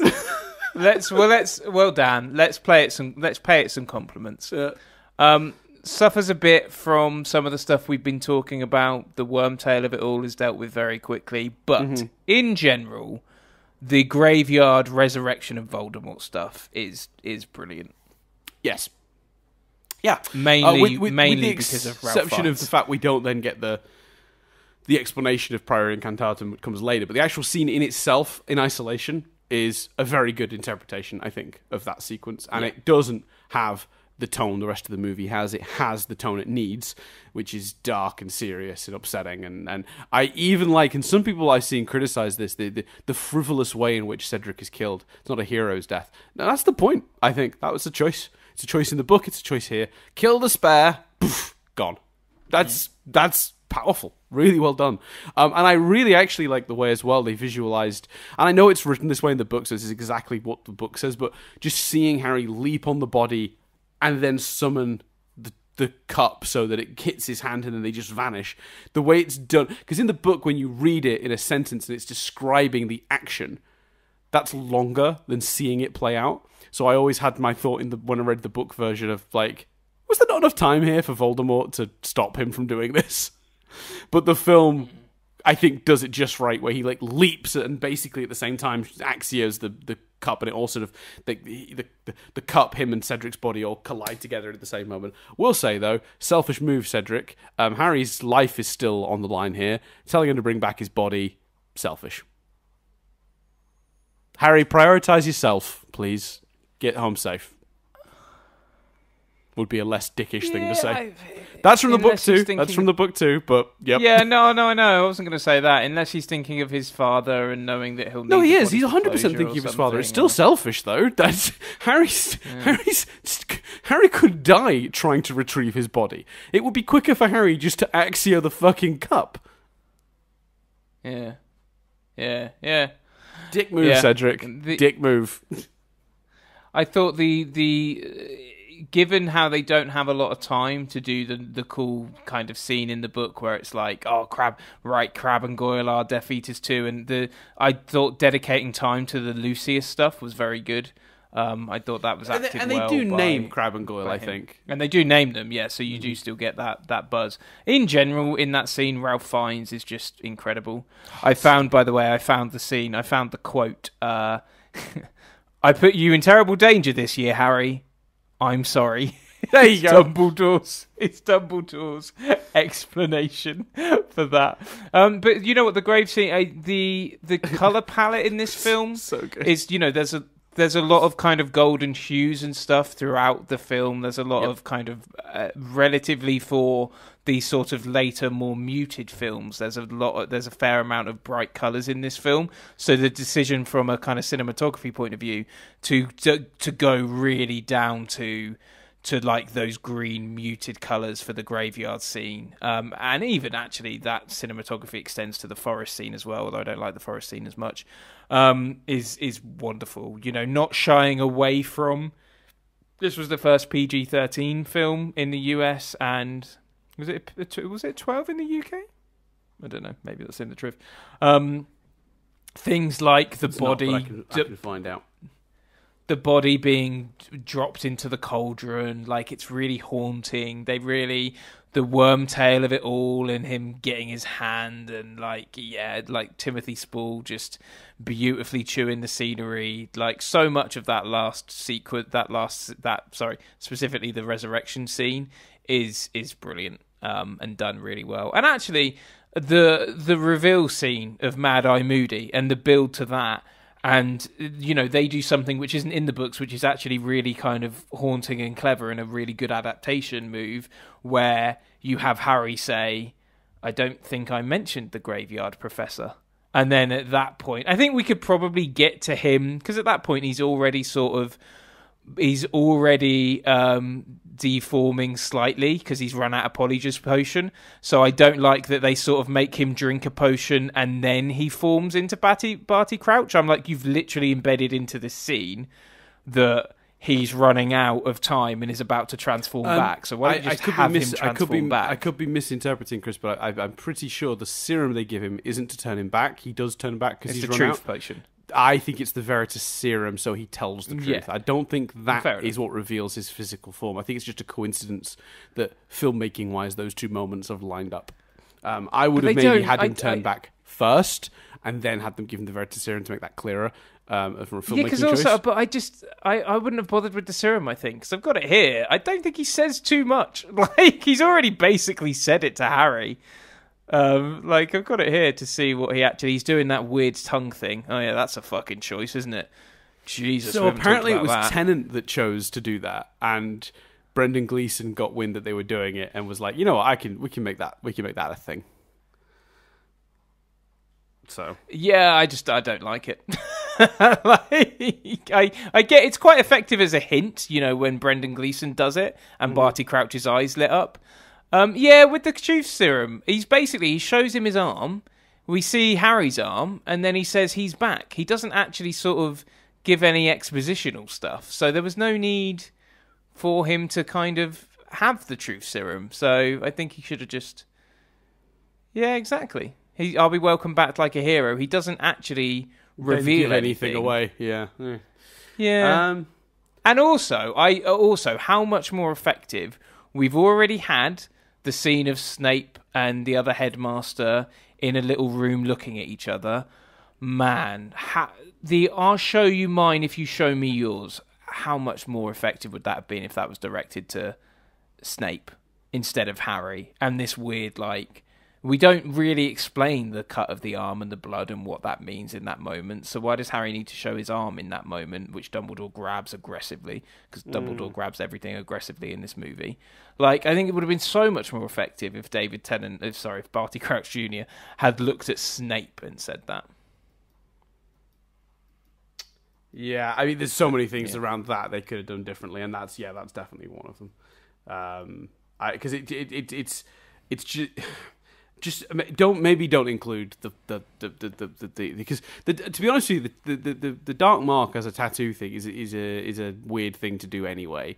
Um because it's it, you're essentially like you know oh you want to be a teacher at uh, Hogwarts? Uh, could you just check your arm please? Make sure you're not a Death Eater like the idea that like everyone is branded with that that worked for him is kind of like uh that causes that, that that causes more problems than it solves anyway just in a wider world situation like um so i i, I don't I, why couldn't they just not have that uh, there's no need for that to be in the movie that's another thing that's like there because it's in the book Um, not because it needs to be there to be tell tell this story Do you? I take it you agree about um, the the resurrection of Voldemort scene being uh, just awesome.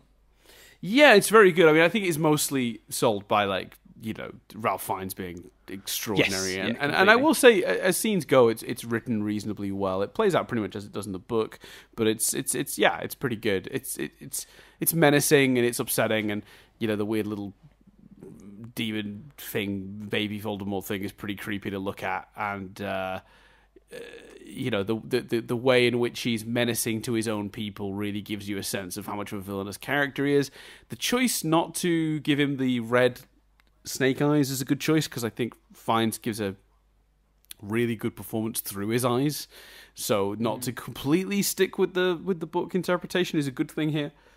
Um, I do think because of the way it's structured, um, a non-book reading audience member might think the reason he looks all fucked up is because of the resurrection rather than the Horcrux stuff because obviously we've only ever seen him young and handsome. So it, it almost looks like he's all weird and not got a nose because this went wrong somehow. So I, I could I, I wouldn't be surprised to like if you know to have been a fly on the wall for conversations as people were leaving the theater for this back in the day and hearing someone say something like why wasn't he more mad at Wormtail for like fucking up his resurrection? He used to be like a handsome dude like what happened? Um, but you know fine. Like well, you know that's just structure. I don't know what else you can do other than like showing scenes in between where you could see him becoming more snake like and i guess you could always save that for later on. Because we, we you know we we know why he's all fucked up and snake like but the i guess the audience generally wouldn't.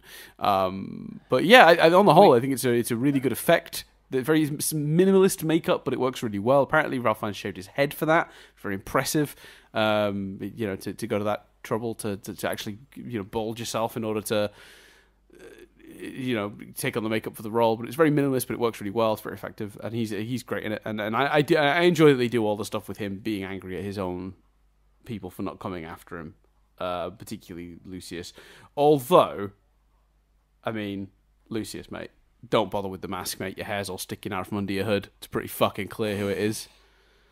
Tuck the fucking I, hair I into really, the hood, you, you prick. Like, what are you I doing? Really, I really liked. I went. I thought, oh, good movie. You're not dumbing down the audience by making this a reveal. It's clear it's Lucius, even though he's got the mask. Good on you. And then, like two minutes later, the or two twenty seconds later, the mask comes off in sort of almost a grand reveal moment, and I'm like, oh, fuck you movie. Yeah. Um, do you want before we do before we do the questions and then Triv? You want another? You want another quick one, Dan? Another Sure. little quick one. It's a weird fucking moment, isn't it? The whole world's going to change now, isn't it? Yeah. Like, is it a joke? Is it? Is it? Is it meant to be humor?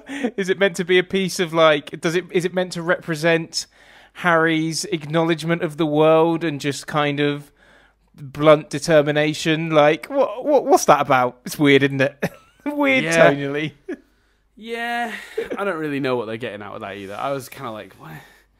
Just, just like, I, I guess they're just like it's just a quick way to establish the problem of Voldemort returning, but like, I, I it doesn't really.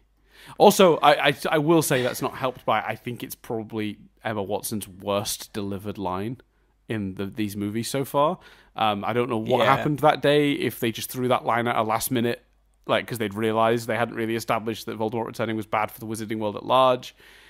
I, I, I don't know. They were.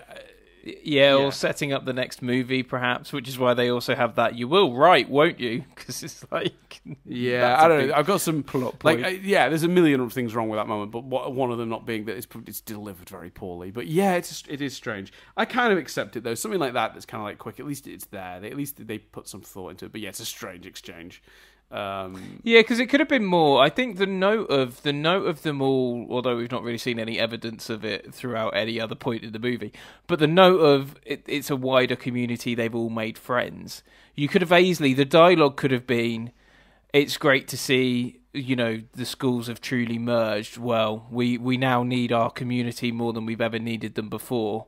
Yeah, you know shit's about to go down, yeah, but we've got each other. That, That, could have you been really do need you do need the Durmstrangs and the Beauxbatons showing up for the Battle of Hogwarts in the in the final movie.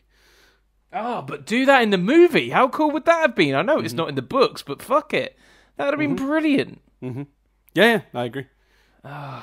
Oh, that's such an easy like because they don't. My memory of it is they don't really properly go into the giants and stuff. So instead of the giants rushing in to help, you know, seeing that ship that we've seen in this movie that looks awesome, and a lot of this movie actually looks awesome. You know, the, the yeah, the- the- it's it's not got great. the um, it's not got the filmic like auteur quality that we had from the last one, but it's there are some really brilliant shots, you know, framed in front of archways with things flying in front of them, and like just a really really nice just you know they're not really telling us anything. But they're just really nice to look at and impressive. So there's a there's a lot of that, you know. Um, we we don't get anything as artistic as the flowers around Hogwarts all dying as the Dementors float over them, which is is you know telling us a bit something about the tone of the place and the, the, the, those creatures. But yeah, it's instead you know we, we here we just get some very nice visuals, but like they're good. So yeah, they they they you know they're they're kind of often meaningless, but they're they're really neat. So the DOP. Set designers, like The- uh, art, art design department, whoever is responsible for figuring all that stuff out, did a, did a really good job. Good job. Um, should we do? Should we do questions, my friend? Well, I've got a couple of quick little tiny notes myself. Might as well get these out of the way before we do the questions. Yeah, the questions are the questions are big. So, um, d- d- d- did no one try to stop the Death Eaters uh, at all? They they just they just they just trashed the Quidditch World Cup, destroyed thousands of tents, and presumably hurt lots of people. Like, eh, I don't want to, you know, be like an in the book, but in the in the in the, book, there's there's a handful of them, just a couple of them.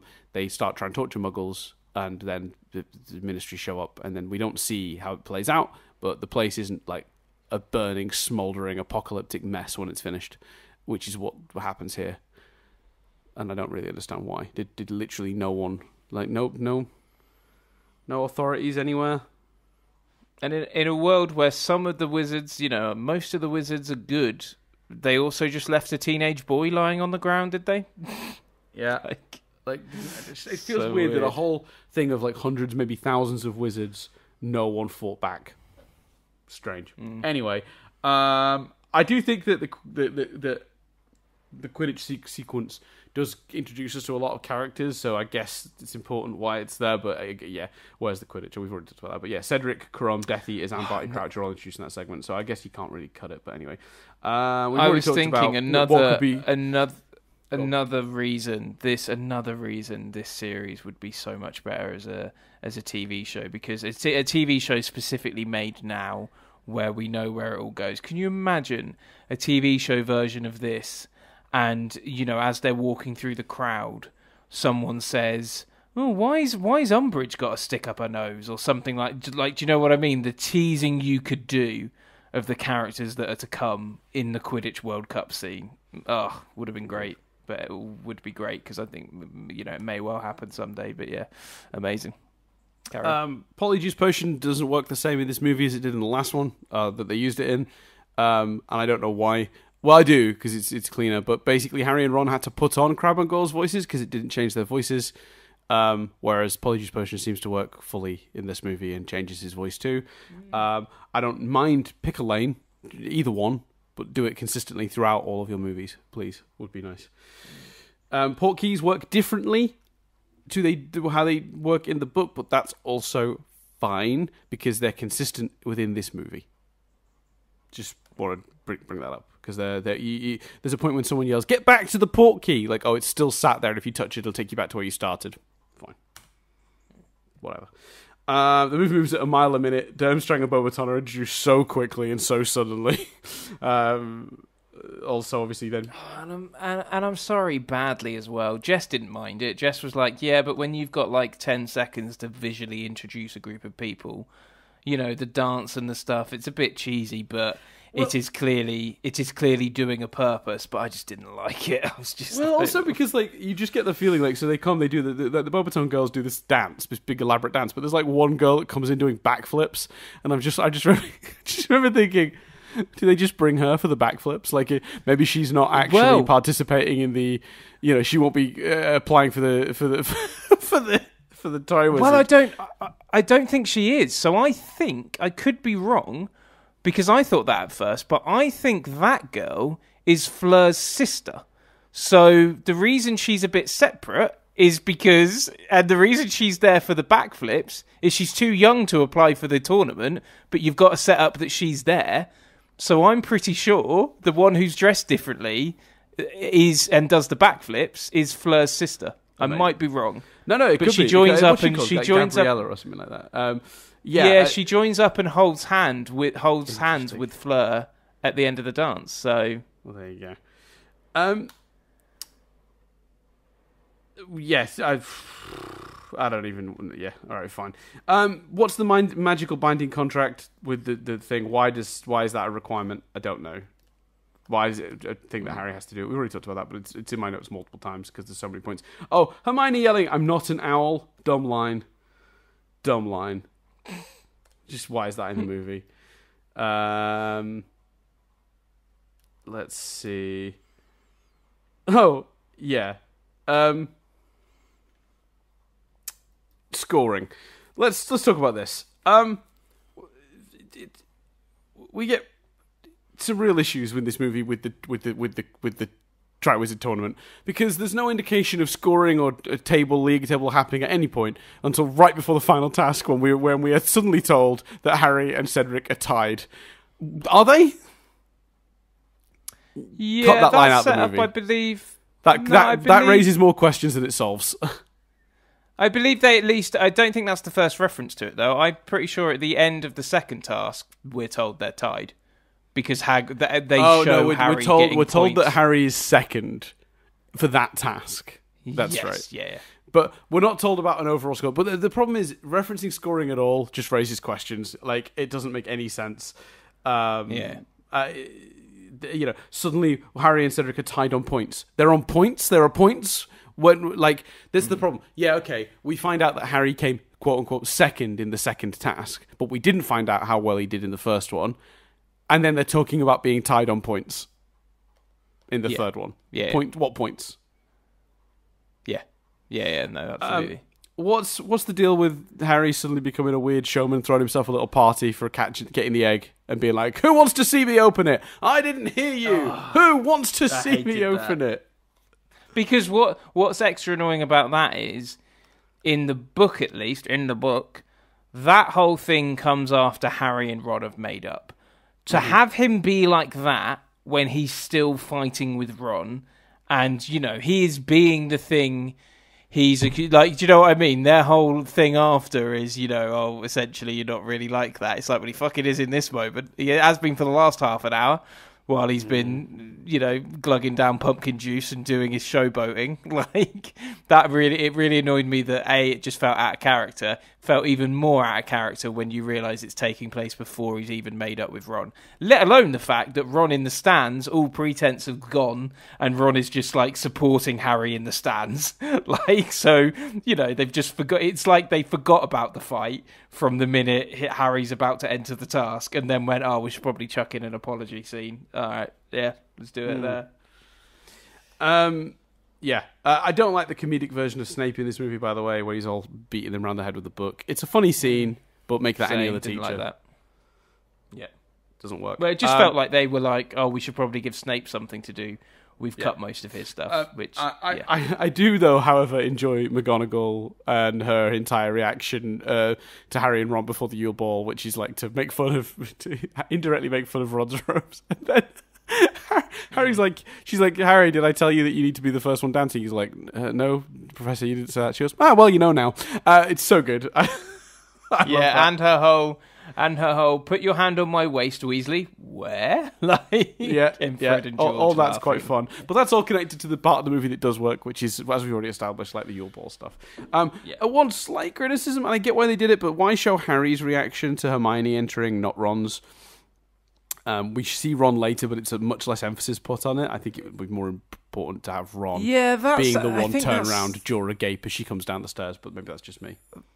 That's slightly inherited from the book, but I think they should have, for the purpose of the film, changed it. Because in the book, he just walks past Hermione, and you Right. don't know whether he's realised and is so annoyed that he's just ignoring it, or whether he's she's looks so different he's not realised yet. We don't really get Ron's reaction in the book either, but I think for the purpose of the film, especially given where the scene goes, we should have probably got Ron's reaction. Yeah, I would agree. Um, hate that they call the Great Lake the Black Lake. Don't that's just- change. just a really unnecessary change. It's, just, it's the Forbidden Forest, the Dark Forest all over again. I don't know why. Um, right, Dumbledore's is okay. Dumbledore's office. They're in there. Dumbledore's like, whatever you do, Harry, don't touch those sweets. They snap or whatever. And then Harry does it anyway because he's a fucking idiot, and that's fine. That's a teenager will do the thing you told them not to do immediately every time, so that's fine. I'm not against that as a as a thing. But then Harry stumbles back, and it's what reveals the pens- the pensieve to him. Question, Chris: Was that some sort of weird Dumbledore plan? And you know, to get Harry to see the Pensieve and, and go into it and see the, the, the memories. don't know. Eh? Because he Who- says it in a sort of like knowing way.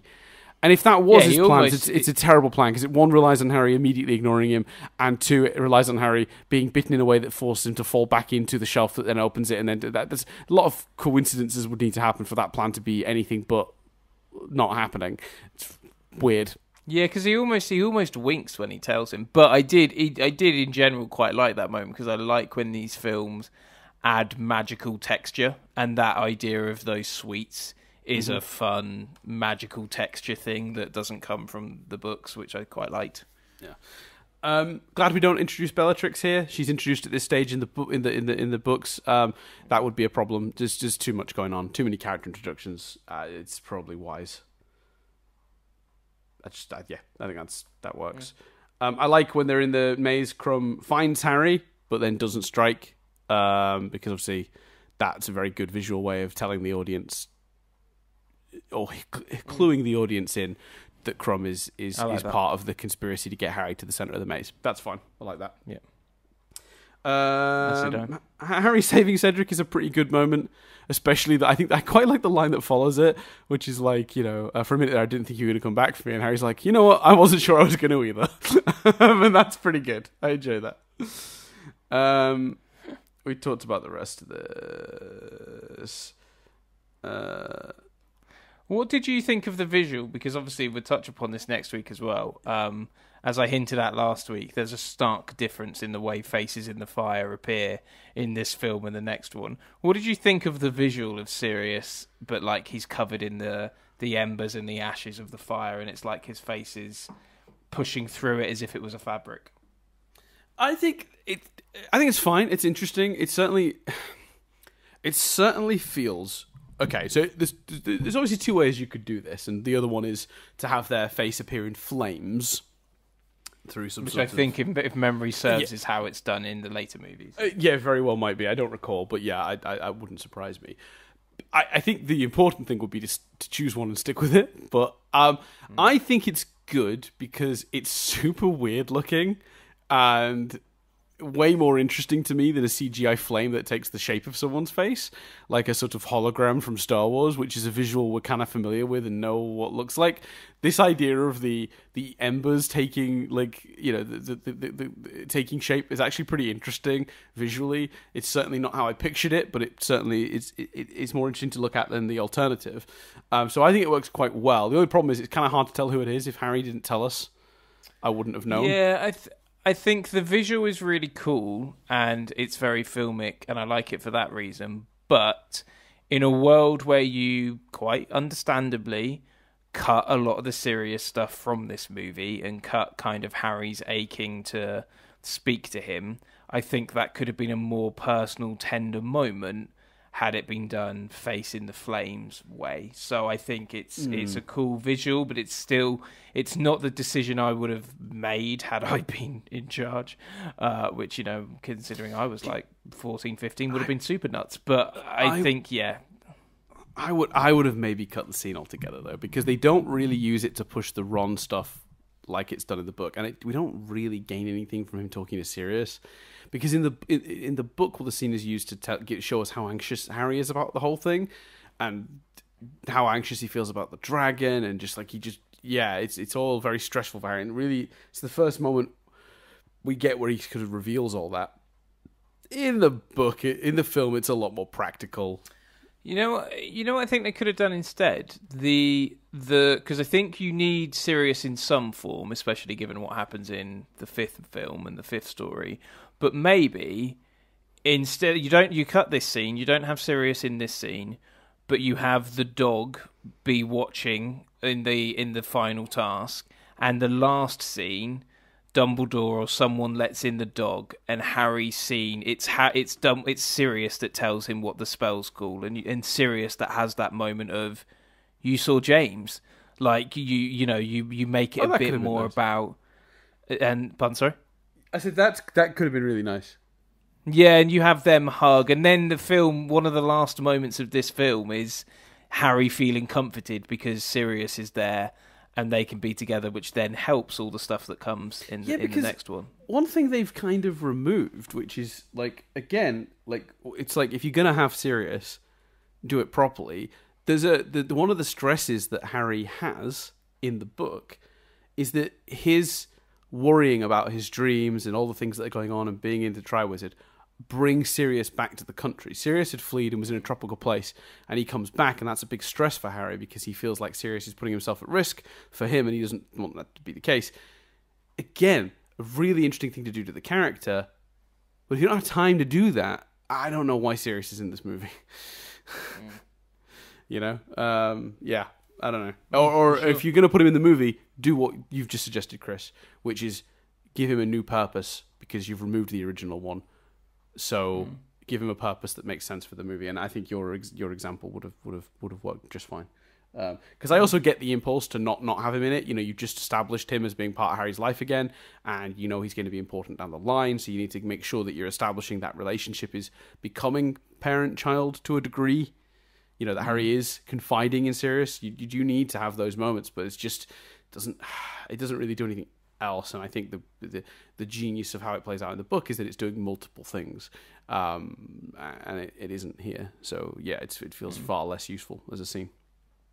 Yeah. I'd agree. Okay, Cool. Let's do the questions. So, uh, question one: Does it work as a story on its own? I think mostly yes. If Yeah. I'm being honest, Yeah, it does. Yeah. I think that there's a, uh, you know, the second part of the question: that is there a natural and logical sequence of events without the need for extra context of the books? Uh, no, in in several ways. But I think this story is broken even in the books, so uh, a lot of that is just inherited anyway. um, but yeah, I think the actual like, I think what they've done to the Barty Crouch plot to streamline it makes perfect sense.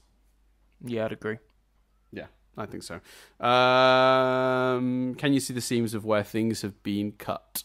I think we're going to have to change this question because I think actually the question should be have they smoothed out the books, you know, choppy choppy story because that's just how the book is into a single cohesive narrative. The answer in this case is no. No. Yeah, absolutely no. Yeah, they failed. Um, enough school in our Wizard School movie? Absolutely no. Big no. Fat no. There is one and a half lessons, mm, two lessons in this movie. Um, the first is the um, the Mad Eye Moody lesson, and then the only other time we see them in a lesson, it's not even clear that it is indeed a lesson. It's it's something with Snape, but it doesn't appear to be potions. No one has a cauldron. It also appears It's in the Great Hall. it- yeah, I was gonna say it appears to be in the Great Hall because of what like the setting, but like, is it an exam? Because Hermione finishes what she's doing and then hands it into Snape. It's very unclear what it is.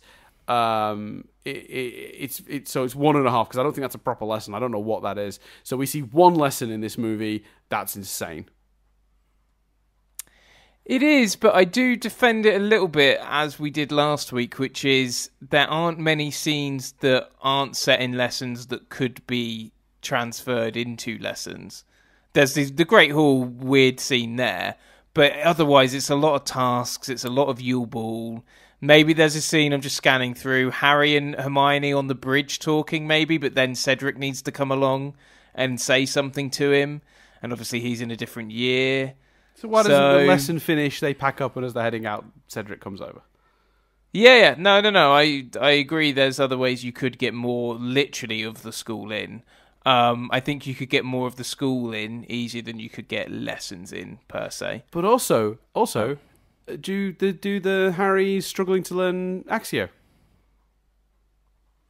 Uh, I understand that being cut. I, I don't think that's. I think that doesn't go anywhere. Putting that in But, the film, but showing him, pra- no, I, potentially slow it I. I, I disagree. I think showing him practicing for that would help establish the stresses he feels as these events are coming. Like having the scene of him, just one scene, him and Hermione um, in the, the, the they, I think they find like an like an a disused classroom to practice. yeah, they do. Yeah. and McGonagall stumbles across them and is like, "What the fuck are you doing?"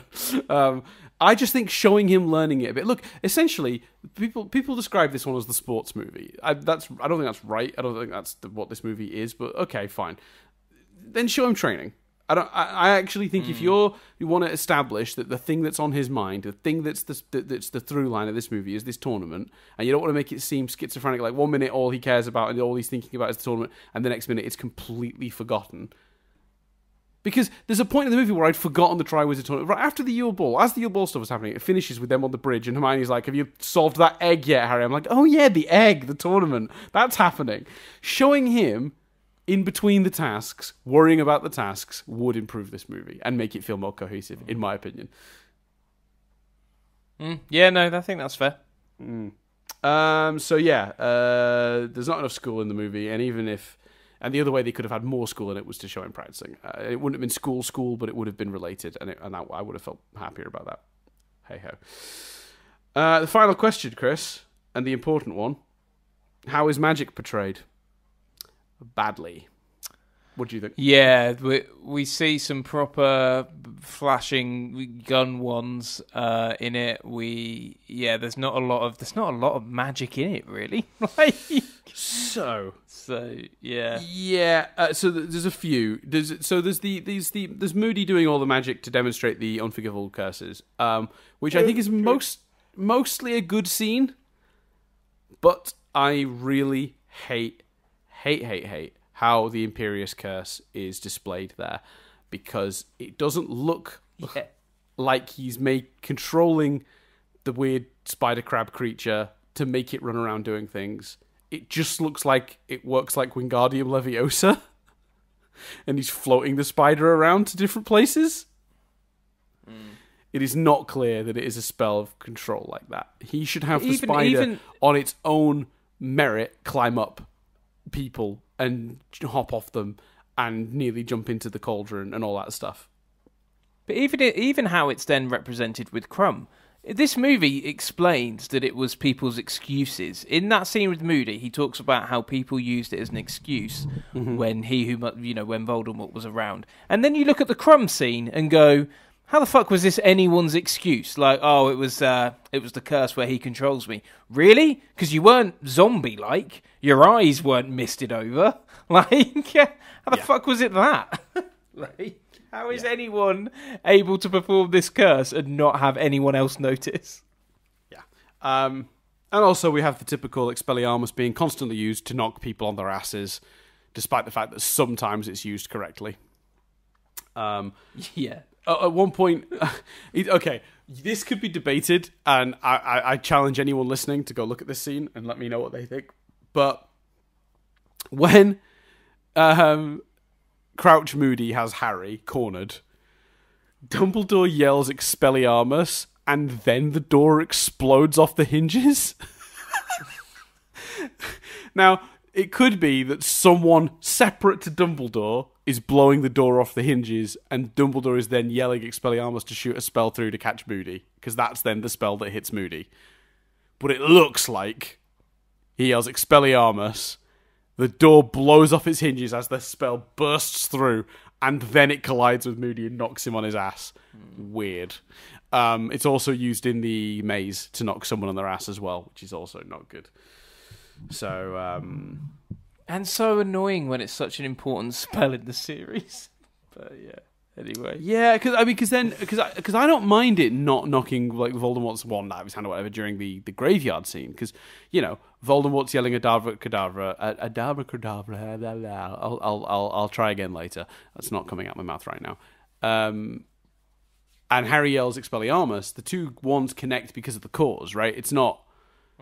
That's that that that be, the beam struggle, as it were. There is not really related to the spells either of them That's cast. that's what So it, that's that's fine. what it is. It's not that's not explained in the film, but yes, that is what it is. Right, but I'm I'm like we'll we'll get that explained. Well, will we though? Actually, that's a good point. I was thinking like, oh, maybe they'll explain that further line. They're not going to explain that now, are they? That's just going to have, have happened. Yeah, you're right. Okay, well, dumb. But uh, yeah, yeah, okay, there you go. So is magic portrayed well in the movie? No, nothing's explained. Nothing behaves consistently, as always. Um, the And- Imperius and curse is, is, i- i- you know, is badly demonstrated, so that, that the audience will be confused as to how it works. There's, yeah, magic is not portrayed well in this movie. There's also there's just not a lot of magic in it. There's not a lot of the equivalent of like in the last film, or it might have been the Chamber of Secrets, when they go to yeah, it would have been the well. They did it. To be fair, they did it in the leaky cauldron as well. The little no, the little nods, the the dishes that are washing themselves, the the the cleaner that has a mop that's twirling all by itself. There's just not a lot of magic in the film. Um, Yeah, it's a good so point. yeah, no, I don't think it's behave. I don't think it's portrayed well. No, agreed. So, Chris, unless you've got anything else to add, I think it's time. I think we can. Are we? Are we gonna? Do you want to rank it and then do the triv, or do the triv and then rank it? No, let's tri- let's triv it up, and then uh, and then we'll rank it. Okay. Well, I'm gonna give you some trivia in that case. So, uh, Alfonso Cuarón was offered the chance to direct this movie, um, but declined. Um, and initially because he was just concerned he'd be still working on the. He didn't like the idea of being still working on the post production on Azkaban while starting pre and full production on this one. Um, so he was just like, nah. I guess at the time maybe that was kind of like left open that he might come back for the one after, but obviously that never worked out either. Um, M Night Shyamalan was also considered for this one, but turned it down. Another bullet dodged. Uh, two movies in a row we've had it offered to M Night, and he's not taking it. I'm relieved. Uh, one second, I'm gonna.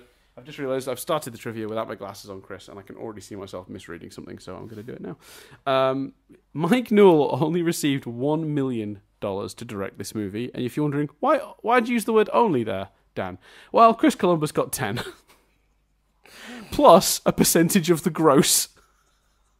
So, God, wow. so uh, yeah, only one million. Does Mike Newell got screwed? Um, you know, as much as I'm not a huge fan of many of the choices made in this movie, and I do think he is to some degree to blame for some of the things that aren't working in this film, I think a lot of it needs to also be aimed at Steve Kloves. But you know, we'll, we'll Maybe you know, Maybe next week's going to be the they- real test for Kloves because this is the, the one non Kloves movie, and we'll see if it works better. maybe they got paid a million per hour that they actually read the book they were adapting. maybe that's what it was. There's so many. Again, it's in that movie Flame essay. There is a, just a compilation of Mike Newell moaning about the length of the book. like he's just like it's a big slab of a book, and it's all this stuff. like, Well, on that subject, Chris, director Mike Newell decided against the studio's plan of adapting this longer book into two separate movies. Um, he wanted to. They wanted to do two mo- split it into two movies that were filmed at once, but then separate them and release them a few months apart. Um, he figured he could cut enough of the book's bulky subplots to make a workable movie. Uh, he was wrong, um, but apparently it was uh, Cuarón um, that apparently convinced him that would be possible. But obviously, Cuarón had a much smaller book to adapt, so I feel like maybe he should have I not. Yeah, I think uh, I think they I think he was wrong about what he about whether he achieved it with this film. I think this film does show it can be done. You just need to be ruthless with the cuts. Um, you know, you don't. The film works without Ludo, without Spew. It could have worked without Rita. It could have worked without a bunch of other things. There is the time in this movie to take a bunch of stuff out and extend a bunch of character stuff and plot logic stuff to make it work. agreed. And also, I think it would have set a slightly dangerous precedent. Like, w- would we have wanted a series? I mean, I suppose yes, but it would have felt very bloated to have a series which had uh, one, two, and then five times that had twelve movies in, because basically, you know, you'd have to do that for every book beyond it. So, and also, it's a story. It's a story about four things essentially: the three tasks and the Yule Ball. I'm not really sure where where you cut that in half. So, I think I think it's the right decision not to make it two movies, um, but just the wrong decision to make the edits they made in this movie. yeah, yeah. I would agree. What is roughly the halfway point of the actual movie? Well, let's see. Um, the Yule Ball. Okay. It's just Yeah. not very. It, although it's quite a good character end. Um, or maybe you. Well, I'll tell you what you do. Maybe you you have you you basic. Maybe you do it where you build up and up.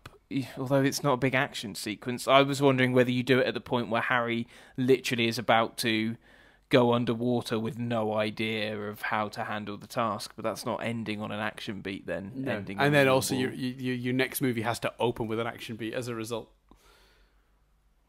I tell you what you do. Maybe you do. Maybe you do a lot of the ask. You shift it around so that asking everyone out to the Yule Ball and the comedy of the Yule Ball is done before the first task, or even you could have the Yule Ball itself done before the first task, uh, and then you end on the first task. Maybe. Which would make a lot more sense because this is another thing this movie bumps into, and I, I cannot remember if this is a problem in the book. But so he's he's famous, he's rich, he's a successful athlete within the school, and a reasonably functional student. The the the joke is, you know, oh, you won't have any trouble finding someone to go out with Harry. But then he does. Quite a lot of trouble, actually. And what's weird about that is, in the immediate aftermath of the dragon, they do multiple shots of girls being like, Hi, Harry. And then they introduce the concept of the Yule Ball, and suddenly him and Ron walking around trying to talk to girls, they're all giving them disgusted looks and turning their backs on them. And it's literally within two scenes of each other, and I don't understand.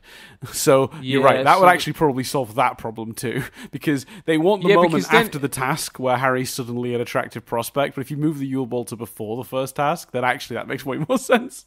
Yeah, because then it's just they're doing all the pot of stink stuff, and then it's Harry, but Harry trying to find a date when he's actually hated. I suppose you don't get the Harry Ron comedy if you're doing the double act of them, and they're still technically fighting at this point. Maybe. so. Yeah. Um, but the um, so there probably are issues with it, but I think I think the logical place to end a, a movie one would be at the end of the first task.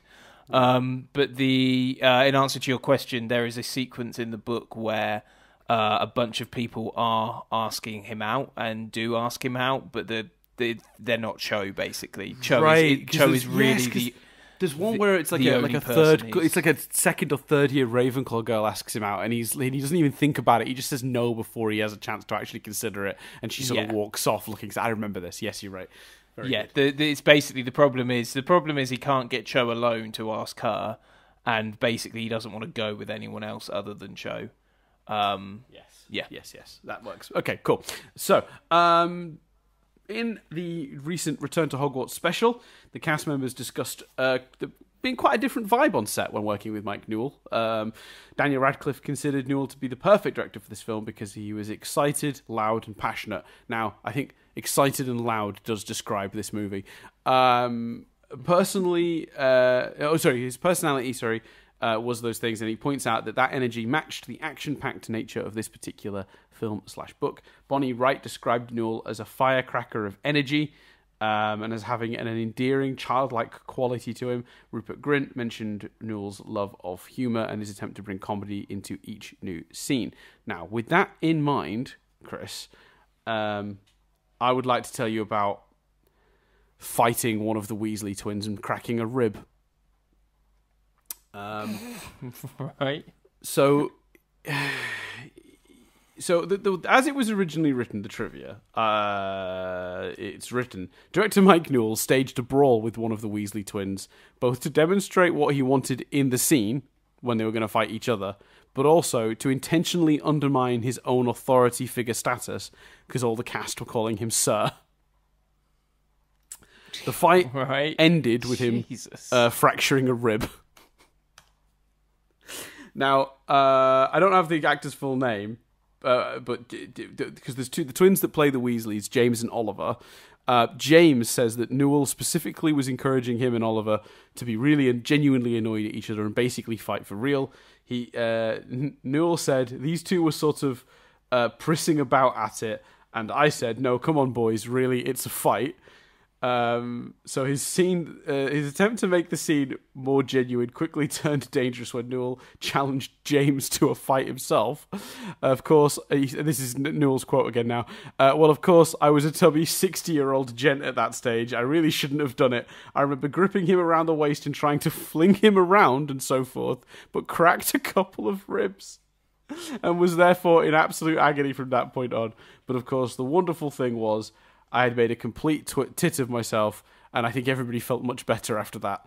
So uh, he he solved his problem of people respecting him too much um, by doing that. That's Madness. absolute insanity. That is absolute insanity.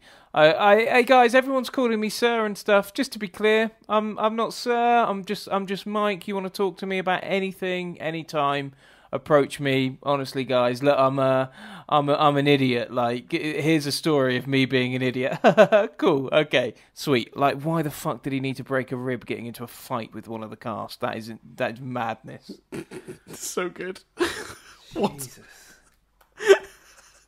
Good. Um, I kind of both love and hate this guy. like, I'm very torn because I think he's an absolute lunatic, I'm kind of intrigued. I'm like, I'm like fascinated by him. Like, what a strange character this man is, and what a weird movie he made. Yeah. Uh, uh, did you know that, Chris, that during the filming of the Harry Potter movies, Daniel Radcliffe went through 160 pairs of glasses? Did you know that? I did. I did know that. Thanks for letting me. thanks for letting me know. Um, back to the actual trivia. Um, Henry, Henry Cavill apparently was one of the people who auditioned for Cedric Diggory. I would have liked that. I think he would have been a good Cedric Diggory. I, I enjoy what we got, Yes. but it's a small role. It doesn't really matter. I, I, I don't. You know, flip a coin, give it to either of the two. I wouldn't mind it. I think they're both, you know, could have done it. Yeah. Uh, yeah, Katie Leung, absolutely. who plays Cho and does a really good job, in my opinion. Um, wasn't initially planning on auditioning. She was actually on her way to go do some shopping, and her dad told her that the, the audition was basically on the way.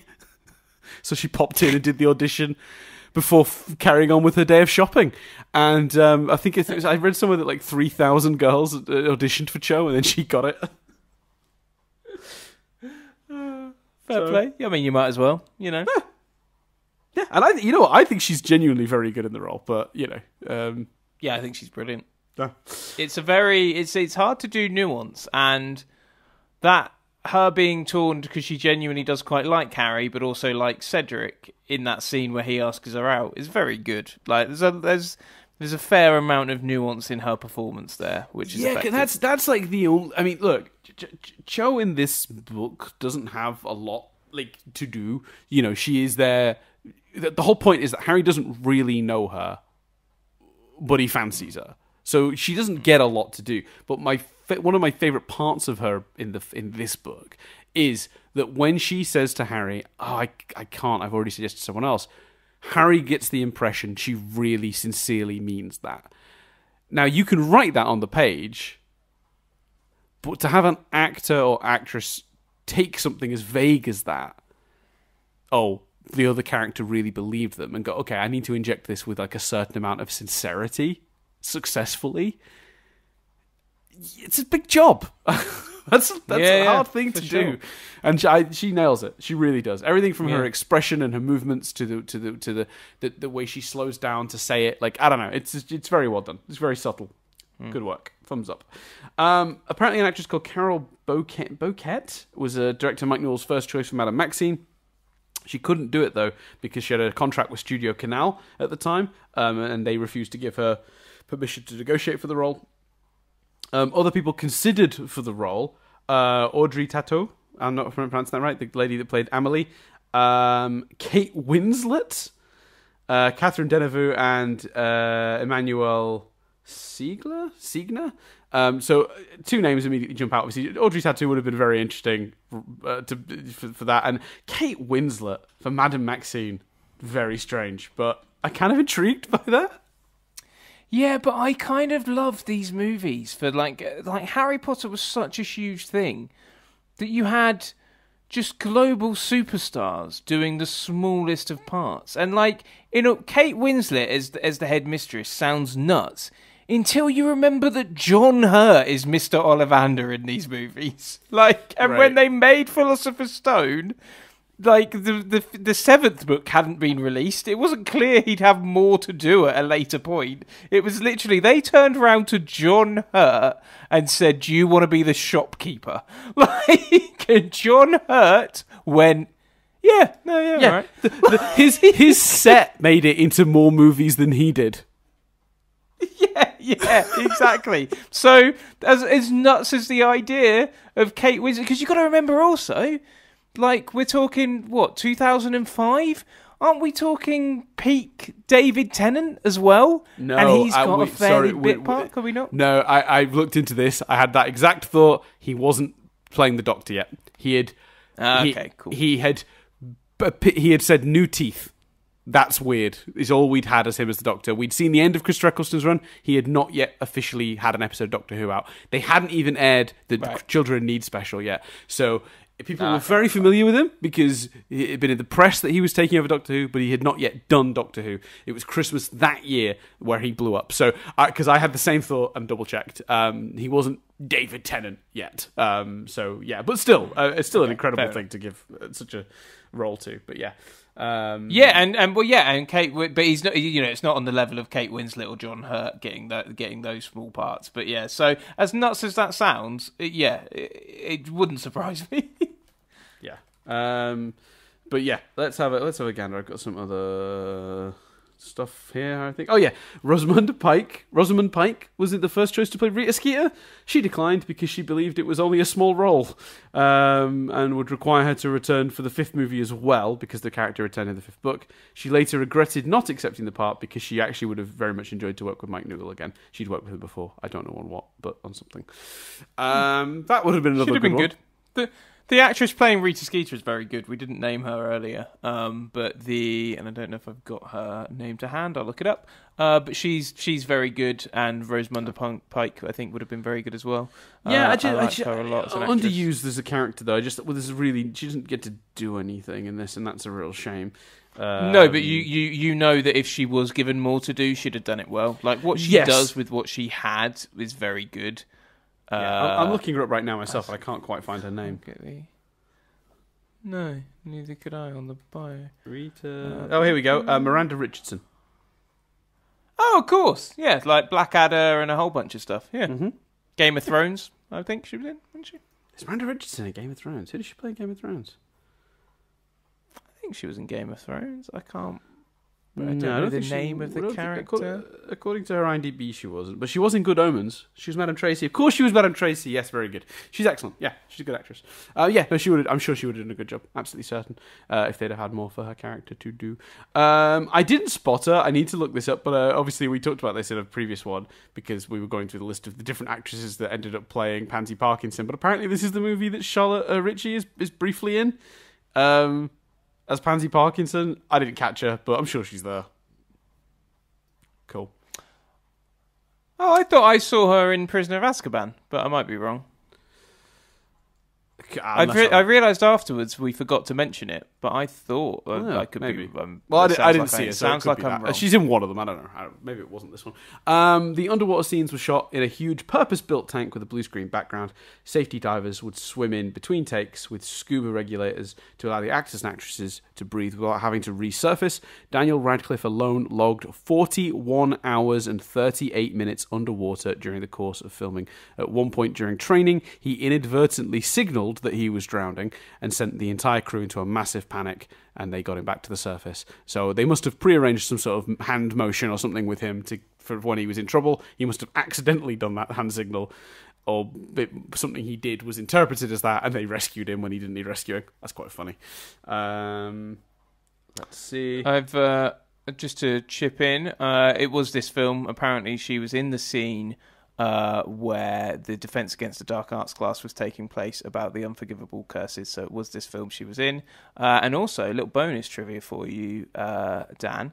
Uh, Miranda Richardson was due to be in Blood Moon, the cancelled Game of Thrones spin-off project. oh, So there you go. Not there. Not not. I wasn't right, but there was a logic. yeah, she's good. I mean, I, I, I, oh yeah, I've just found a shot. That's Charlotte Ritchie. Holy shit, she's just a child.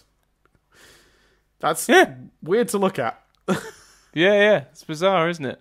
Well, there you go. Yeah. Carry on. Carry on, Triven. Yeah, carry on, Trevor, indeed.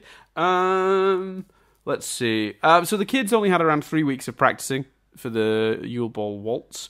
Uh, Radcliffe, however, who appears in almost every scene in the entire movie, uh, had less time than the rest of them um, because he's that was required for filming. So he only actually had four days to prepare. In several interviews, um, he has given this as a reason why his dancing is mainly shown from the waist up to avoid showing his fumbling feet. But fortunately, this obviously isn't a huge issue because the point is that Harry isn't very good at dancing anyway.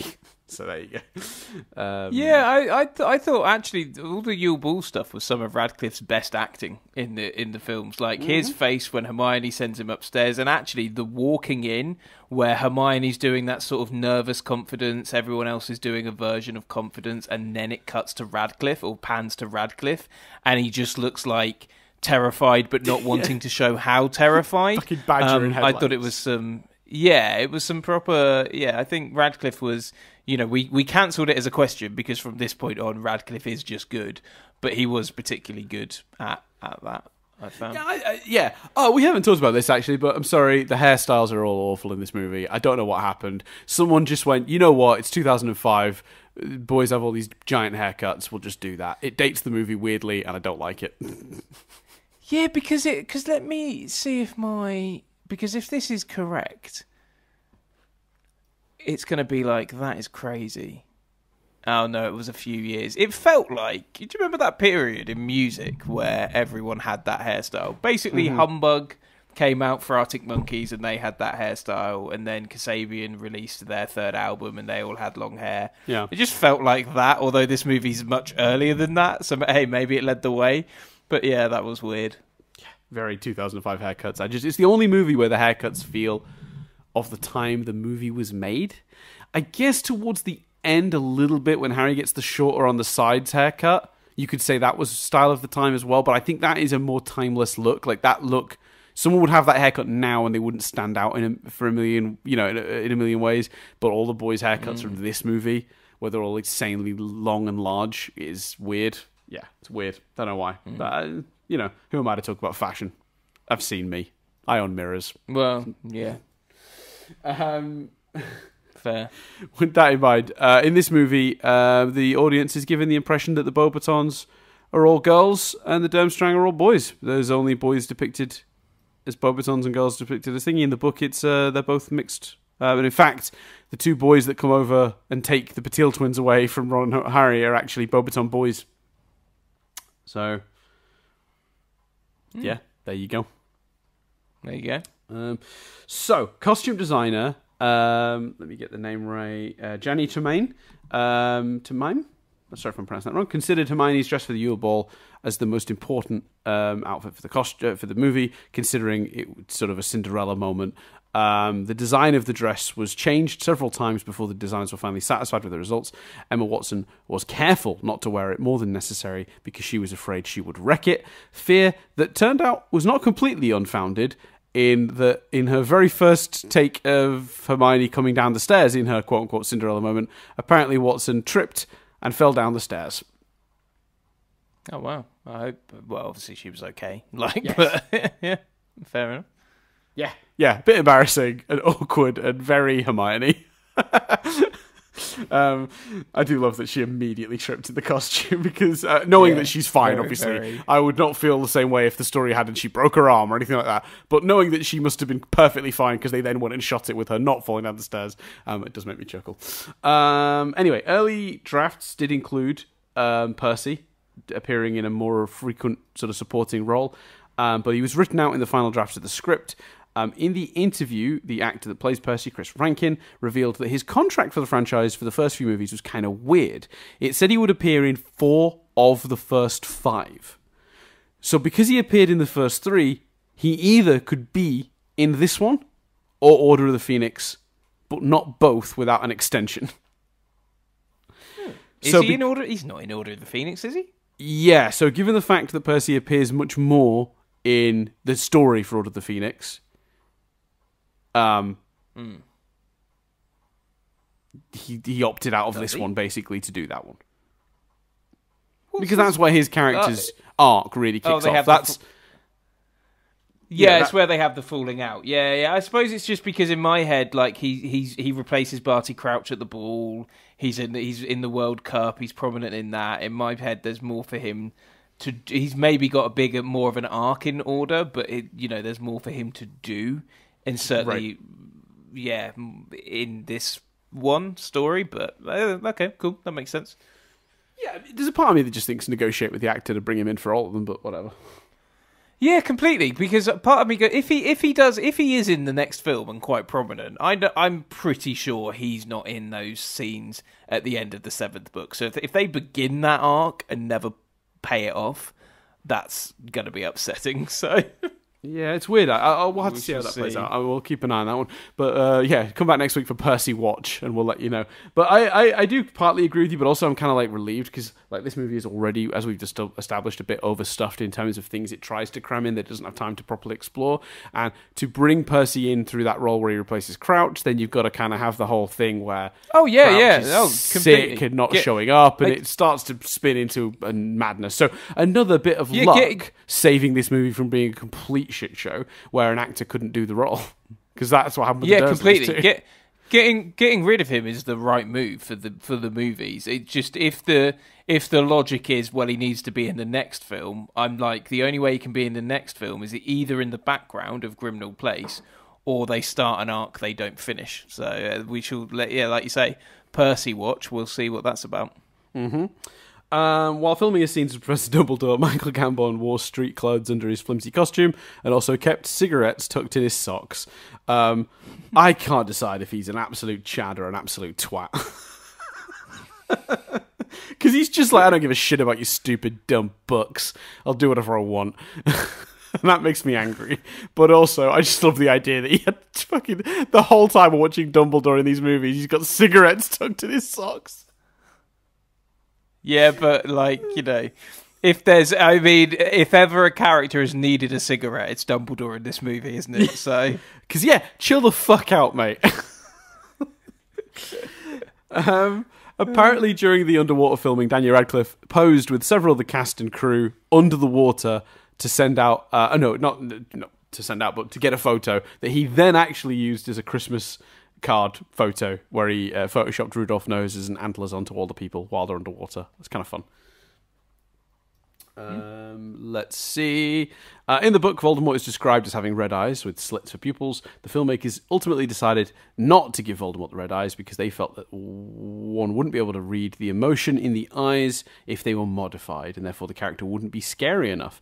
Uh, yeah, so apparently, if you look carefully and you go through it frame by frame, apparently there's a moment his eyes turn to slits before they become his gen- real eyes in the transition when he's being, you know, they're very briefly slit pupils instead of the normal human pupils. So yeah, fun, I guess.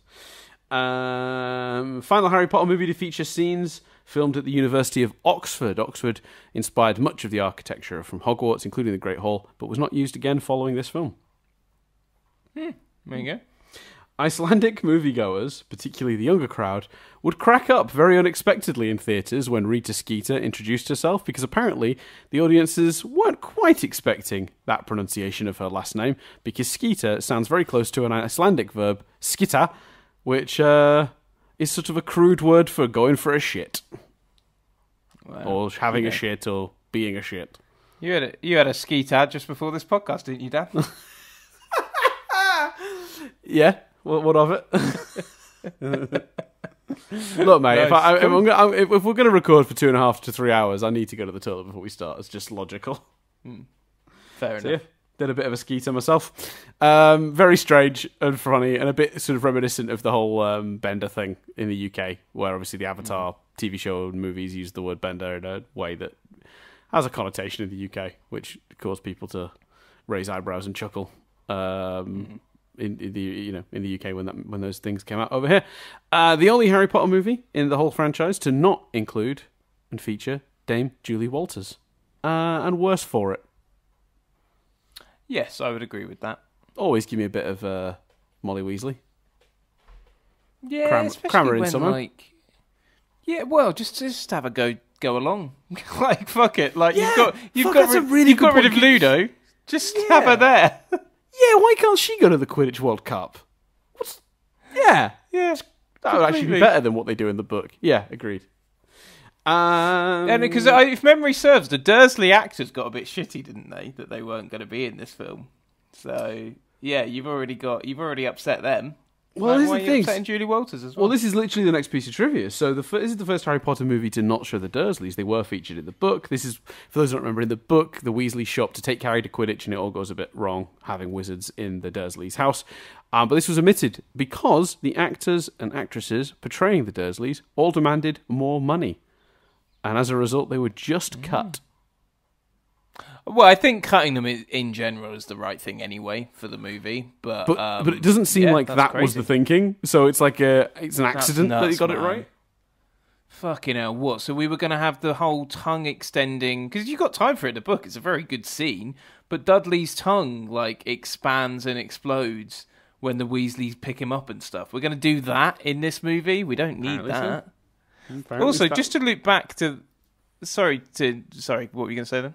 No, no, I was agreeing with you. I was just agreeing with you. Just to loop back to the uh, Molly Weasley thing, you know what makes that even weirder, as well as the fact that you could have put her in the Quidditch World Cup? Arthur's in the final task. Arthur's like withholding um, Dig- Diggory back and stuff. So Arthur's watching the final task. Even just having Julia Walters next to him or doing some of that, like because that character would absolutely be there, even in the world of these movies. Molly would be watching the third task. It just smacks of yeah, but that way we got to pay the actress, haven't we? hundred percent. Is I was just about to say that it's it's it's we don't have anything that to do, to do with her that's going to be major story wise, so we just won't bother paying out. That's a shame. That's a massive shame. Yeah, I think so too. I agree. Um, originally, the filmmakers were going to include the Sphinx that Harry encounters in the maze, and they were even looking at Grace Jones to voice the Sphinx. Uh, for those who don't remember, the Sphinx gives Harry a riddle. He can either back away, not answer the riddle, and find a way round, um, or he can try and answer the riddle and risk uh, injury or death, even if it goes if he gets it wrong, or the Sphinx steps aside and lets him through if he gets it right. Um, it's a fun part of the book. It also makes the maze feel more like an actual challenge than just get to the center of it. There's also like all sorts of monsters running around it that Hagrid's provided, and yeah, tons of stuff. Um, none of that's in the movie. I don't know why they cut the Sphinx. I think it makes the movie worse, uh, but they did. So there you go. Uh, Brand- Brendan Gleeson apparently wore a wig while portraying Ma- Mad Eye Moody. Um, the wig was designed to conceal all the electronics that make the eye work. Makes you sense. Yeah. Wigs exist. Wigs exist. Um, uh, so we've already kind of covered a bit of this. Um, one second. My computer's decided to throw a small tantrum. One sec. Oh dear. Awkward timing, technical difficulties, technical. Do you want me to do one? Do you want me to fill the time doing one that is probably on your list, but that I could just say because I'm aware of it? Go for it.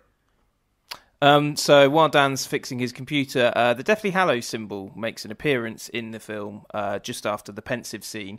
Uh, there has been big debate, um, but a lot of people the, the the overall conclusion seems to be that it is potentially just a coincidence because the seventh book wasn't out, wasn't uh, like was years away from being out when the film was made. So unless Rowling said something very specific about a piece of set. Um, the theory is that it's um, just coincidence, but it's basically once Dumbledore walks over to his uh, kind of cupboards and stuff, it's seen in, in a combination of things on the in the cupboard uh, form the Hallow symbol at about one hour forty seven minutes. So I assume that's Yes. on your list, but I, I Well- happen to know it. So while your computer It, started, it, it, sorted out. it was and then it wasn't and then it was because it was on IMDb. Someone's like, if you watch the scene at you know one hour and whatever minutes, uh, you'll find something of interest in Dumbledore's cabinet. Mm, mm. And I was like, "Fuck you, writer of this trivia. Um, you've not told me what it is, which is a dick move, and I refuse to check." but then curiosity got the better of me. and I did add it. And then I went back to being mad at the guy and deleted it. so it was not in my trivia, but um, thank you for including it because you're But, right. So, a, a tidbit to chuck in while your laptop's charging. no, it's but we're back. I'm back. out, I'm, I'm back up now. But um, it's up to you. If you are, if you want to add something, you're welcome to. No, that is what I added. The the Deathly Hallow symbol thing. Is, oh, I think is for a second I thought while you said you had another bit to add in case my laptop was still coming back up. Okay. No, I was saying, I was saying, in a in a world where you know Yes. might as well fill the time Yes. with a bit of triv. Yeah. Agreed. Very good. Uh, okay, so we already talked about the rock band at the Yule Ball being comprised of uh, members of Pulp and Radiohead, but a funny little bit that came up in the book. The group is called the Weird Sisters, W E I R D. um, after the witches from William Shakespeare's Macbeth. But uh, reportedly, the band were going to be renamed Weird, spelt W Y R D, for the movie. That's what was written in the script. Um, before the movie was released, that was sort of confirmed. Um, but then suddenly, Warner Brothers removed all reference to the names of the, the name of the band um, from the website, and then when it was released, they took it from the DVD. They even changed Flitwick's introduction to the, this band needs no introduction, so he didn't say the name because an actual band from Canada called the Weird Sisters (W I R D) were trying to sue Warner Brothers. Oh, fucking hell. Um, so Warner Brothers just removed every reference to it as a real fuck you, and then they had no case, and the court was the court. The, the, so they had no case, so it was dismissed in court. Um, What are you? So, what are yeah. you hoping to achieve? And I don't necessarily. money. I'm not, I don't. I mean money. I'm, I'm not on. I'm not getting at the people because chances are it's someone going, yeah, we got, we can put together a case and you can get some money here. Like, I'm not saying it's necessarily them, but I just, yeah, I just go back to what are you, what are people hoping to achieve in circumstances like that? Because it's obvious what the answer is going to be. It's like, well, all right, we'll cut it. There you go, done. yeah, yeah. Doesn't affect the movie in any way, knowing what the band are called. No. Um, so the character Nigel appears in this movie briefly. Is a, a completely in, in, invented character. Um, he's a small child that shows up and gives Ron a parcel, and they're like, "Hi, Nigel," and then he leaves, and it's all really weird and awkward. Um, it's Oh. go on. That well, that scene really wound me up because so movie the movie logic here is that Ron has fallen out with Harry because he's jealous. He thinks he's doing it for show and didn't let him in on the secret. That and then the very next scene after they make up, Ron's just exploiting that because the kid wants Harry's autograph. Like the inconsistency of what that does for the character of Ron and the justification of the argument was mind-boggling to me. I, sh- I should have made a note about that because when that scene happened, I was like, "Oh fuck, we what?" Like, given what we've just gone through with these two characters, that's madness. Yeah. Sorry, I just didn't on. like it because I thought the whole scene was awkward and weird. It's so weird watching them close together, isn't it? Like the tonal shifts. Because speaking of characters, obviously that random Gryffindor student that's just sleeping in a separate dormitory, apparently, is just gone from this film. like we're just like he's just disappeared. And like if you watch them close together, it's like, where's that kid? Why is he not watching the Triwizard tournament? Like. I feel bad for that actor. He's like, we're putting you in Harry Potter Yeah. for a movie. Yeah, but not only Bye. that, like we're we're putting you in Harry Potter. Oh, oh, okay, cool. Am I going to be like one of the one of the guys in the background, like Dean Thomas, and just I'm just going to chill? No, no, no, no. You've got you've got lines. I've got lines. Oh, sweet. Like, am I like, oh, hi, Harry? Or no, no, no. You've got actual lines relevant to the plot that make a difference. Oh, awesome, sweet. Am I coming back? No, no, you're not coming back. No, no, sorry. Although I think that I think that I think the actor does return for the Order of the Phoenix. I think they're in Dumbledore's army. I think I read when I was um, working out who they were in whether That's it was meant to be a character we knew or all that stuff. That's hilarious. I will hilarious. double check. So the character's name is Bem, and the character is fifth year. In his fifth year, Ben became a member of Dumbledore's army. Yeah, so he's in like some of the group shots of uh, for Dumbledore, the Dumbledore's army scenes in the next Brilliant. film. Well, there you go. Uh, so yeah, so um, apparently it seems likely that uh, the, the, this character that was introduced, Nigel, was some sort of substitute Oh, sorry, for Colin yeah. Creevey, um, which is weird for a couple of reasons.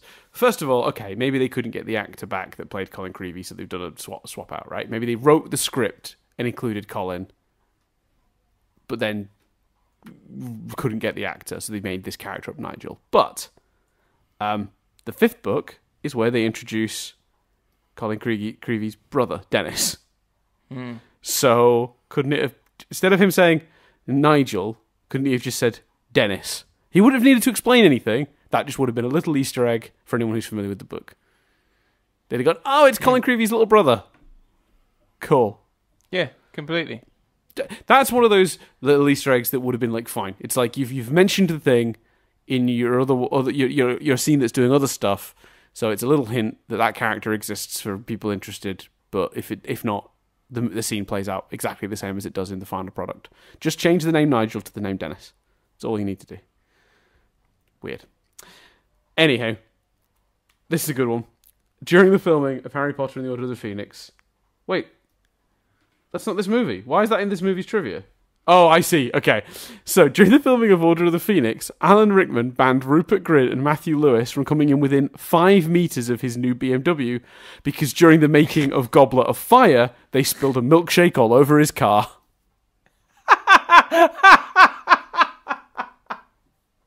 That's my favourite piece of trivia yet. Oh god, that must have been terrifying for them. god. Oh, So there you go. Now I tried to find out because uh, sad news for everyone: cars don't exist. There is not a single car in this movie. The movie doesn't even have a listing in uh, the Internet Movie Car Database. There oh, is Oh, not no. a single car that appears in this movie. I cannot do cars exist. If you think, okay, Dan, what have you replaced it with? Horses exist, cats exist, nothing. I got nothing. So the closest I could get to was I tried to Google what what kind of BMW Alan Rickman drove that got milkshake spilled on it. Could not find that information either. Oh, okay. Well, then, then there's no noises, unfortunately. No. There's not even a lot of like. I feel like I'm cancelling is Christmas right now, but I genuinely can't do there? cars That's- exist. Yeah. Yeah, but I mean, it's right. There's not. There's not a car in the movie. Like, Yeah, but sometimes when we do a movie like that, uh, uh, you know, where there's no physical cars appear in it for whatever reason, like Lord of the Rings, I find a substitute. You know, I did horses exist, yeah, but you know, there's not. Well, yeah, there's not. There's no. There's no new horses in this, is there? Um, No. no, no. And all I can find is that Alan Rickman banned Rupert Grint Lewis from being close to his new BMW. I can't find the model. Which is, to be fair though, that I mean that um, I'm trying. I'm trying to find why you're doing that. I'm trying to find if there's a reason uh, Hugh Mitchell, who played Colin Creevely, didn't return, but I can't. Uh, I can't see anything. Um, the although there's a theory here that basically the actor moved, aged quite quickly, but that's pure fan theory stuff. Um, I yeah, I can't think of one. But you know what? The the milkshake trivia makes up for it. That's fine. Yeah, and it is car. It's brilliant. car adjacent. It's car yeah. adjacent. Oh yeah, completely. Yeah. Yeah. Uh, very final bit of trivia that I have, Chris. Very final, uh, just because you know, people people like to know this sort of thing. Um, this film was, had a working title of Happy Days to to um, uh, you know to sort of disguise what the production was from various locations as they were filming, and to make sure people didn't show up to do the set. And uh, they also actually shipped the movie to cinemas under the Happy Days title um, to ensure pirates, you know, wouldn't steal the reels. So there you go. Nice. trivia. There you go. That's trivia for this week, Chris. Right, let's do some ranking. So, uh, Can I just read this comment? Can I just read this comment on this story? Please do. The actor playing Colin Creevely, Hugh Mitchell, was affected by ever by whatever it was on set that caused pretty much all of the Harry Potter child actors to turn into at least fairly good looking, if not better, after after puberty hit. Puberty hit. At least that's how one of my friends describes it. So that means in the years after the second movie, he grew to be tall and attractive, um, looking not the short kid Colin was supposed to be in the books. Since he no longer looked like his characters, the filmmakers decided to remove the role from the movies and replaced him and replaced him with the only with the movie only character Nigel, who was a composite character of of Colin and his younger brother Dennis. So whether that fan is basing that on anything, but that does the popular theory is that Nigel is a composite of the two. There you go. Well, there you go. Um, rankings. Uh, this is easy for me. So, for those who don't remember, we we sort of been doing the rankings so far. The second one was my favorite. Um, Azkaban is my second favorite, and, the, and and and up until this one, my least favorite was Philosopher's Stone.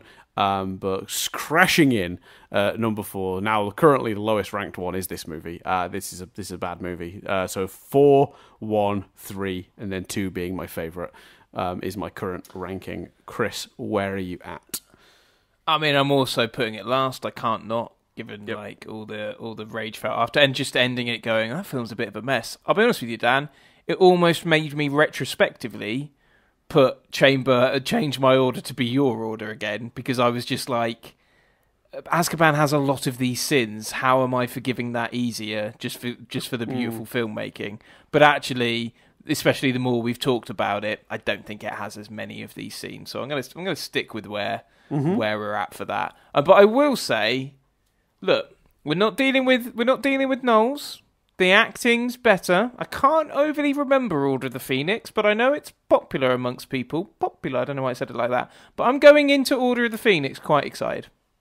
And I'm literally going into Order of the Phoenix. I'm watching it in about 10 minutes, Chris. yeah, yeah, we're watching it. We're watching it this evening. We're recording tomorrow, so yes, I will also be watching it soon. Um, it'll be the it'll be the least gap. Uh, maybe not the least gap because, like I said, I had to watch Goblet a couple of nights ago. But yeah, anyway, um, yes, I I am holding out. I'm. I went into Goblet with a bit of trepida- trepidation. I'm certainly going to be going into Half Blood Prince with trepidation. Um, and I'm probably going to have to play around with the colours on the TV because my memory of that film is saturated to fuck.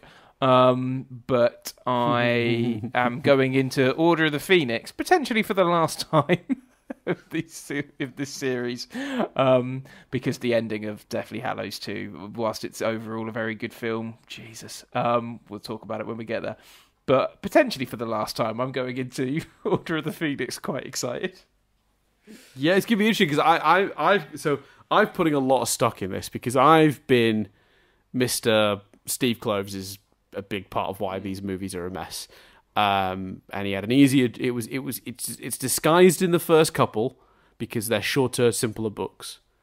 So it didn't expose his inability to make those bold choices we talked about when reviewing this movie to streamline it, um, and explore the actual characters and story that you're trying to tell, um, and, f- and focus it down on those. And instead, it's just a collection of here's that thing from the book visualized, sort of, without any of the relevant context or character work. Here's that thing from the book you remember, visualized, without any of the context or character work.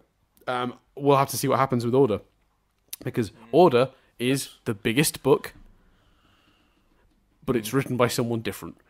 If That's This- what I'm very excited to see. if this writer makes a more coherent movie than Goblet or Half Blood Prince than Kloves did, then that that really solidifies for me that Kloves was the was a lot of the issue and that it could be achieved. And this isn't just an unwinnable task because look, some books are unfilmable. There's a reason Neil Gaiman spent years denying the rights to Sandman to be made into a film. And he said it very clearly many times. I wrote 3,000 pages of a comic book. You cannot condense it to a movie. He wanted to do it as a TV show. The TV show has been out this last couple of weeks. For, uh, for, those of you listening who don't know, we record these like between five and ten weeks ahead. So if you're wondering why I'm talking about The Sandman as if it's just come out, it just has. Um, he was right. he was he was correct. So maybe the answer is no writer could have successfully taken the Harry Potter books and made them really great top tier films because they're just too s- separated and almost episodic and bitty storyline wise as the plots uh, develop and shift as the, as the, as the school year goes on to be converted into one singular focused movie. Maybe that's what we're going to discover here, or maybe the next one's going to be pretty good, and I'm going to spend the last three movies bitching about Kloves. So well, well, you know, Dan. At, at the end of the let's day, see. my at the end of the day, mate, Michael Goldenberg, the writer of this of Order of the Phoenix, also wrote the Green Lantern movie with Ryan Reynolds. Oh, you know, fuck. it. So, you know, So maybe this won't um, prove anything. Maybe it's just the Harry Potter movie's got several shit writers. to in. be but Fucking when hell. I say I'm making it clear which Green Lantern movie there, he didn't write it with Ryan Reynolds. It's just that is the movie. His his his he only has on Wikipedia at least five credits: Bed of Roses, Contact, Peter Pan, the 2003 movie, uh, Harry Potter, and the dear. Order of the Phoenix, and oh, Green Lantern. dear. So that 2003 Peter Pan, if it's the one I'm thinking of, was bad, and I'm pretty sure Contact was okay, but very slow and boring. That was the Jodie Foster movie, right? Uh, by, was- Rob, Z- by Rob, Rob, Rob Zemeckis. Yes, yeah, Jodie Foster. Yeah, Yeah, so And that's a, that's like a really interesting the Pe- idea that's like spread out so thin over like a two hour period that it feels really plodding. Oh dear. the Peter Pan is uh, J- Jason Jason Isaacs playing Hook and Right, uh, yes. George Darling. Yeah. Yeah, that's the one I'm thinking of. That was not a good movie. So wow.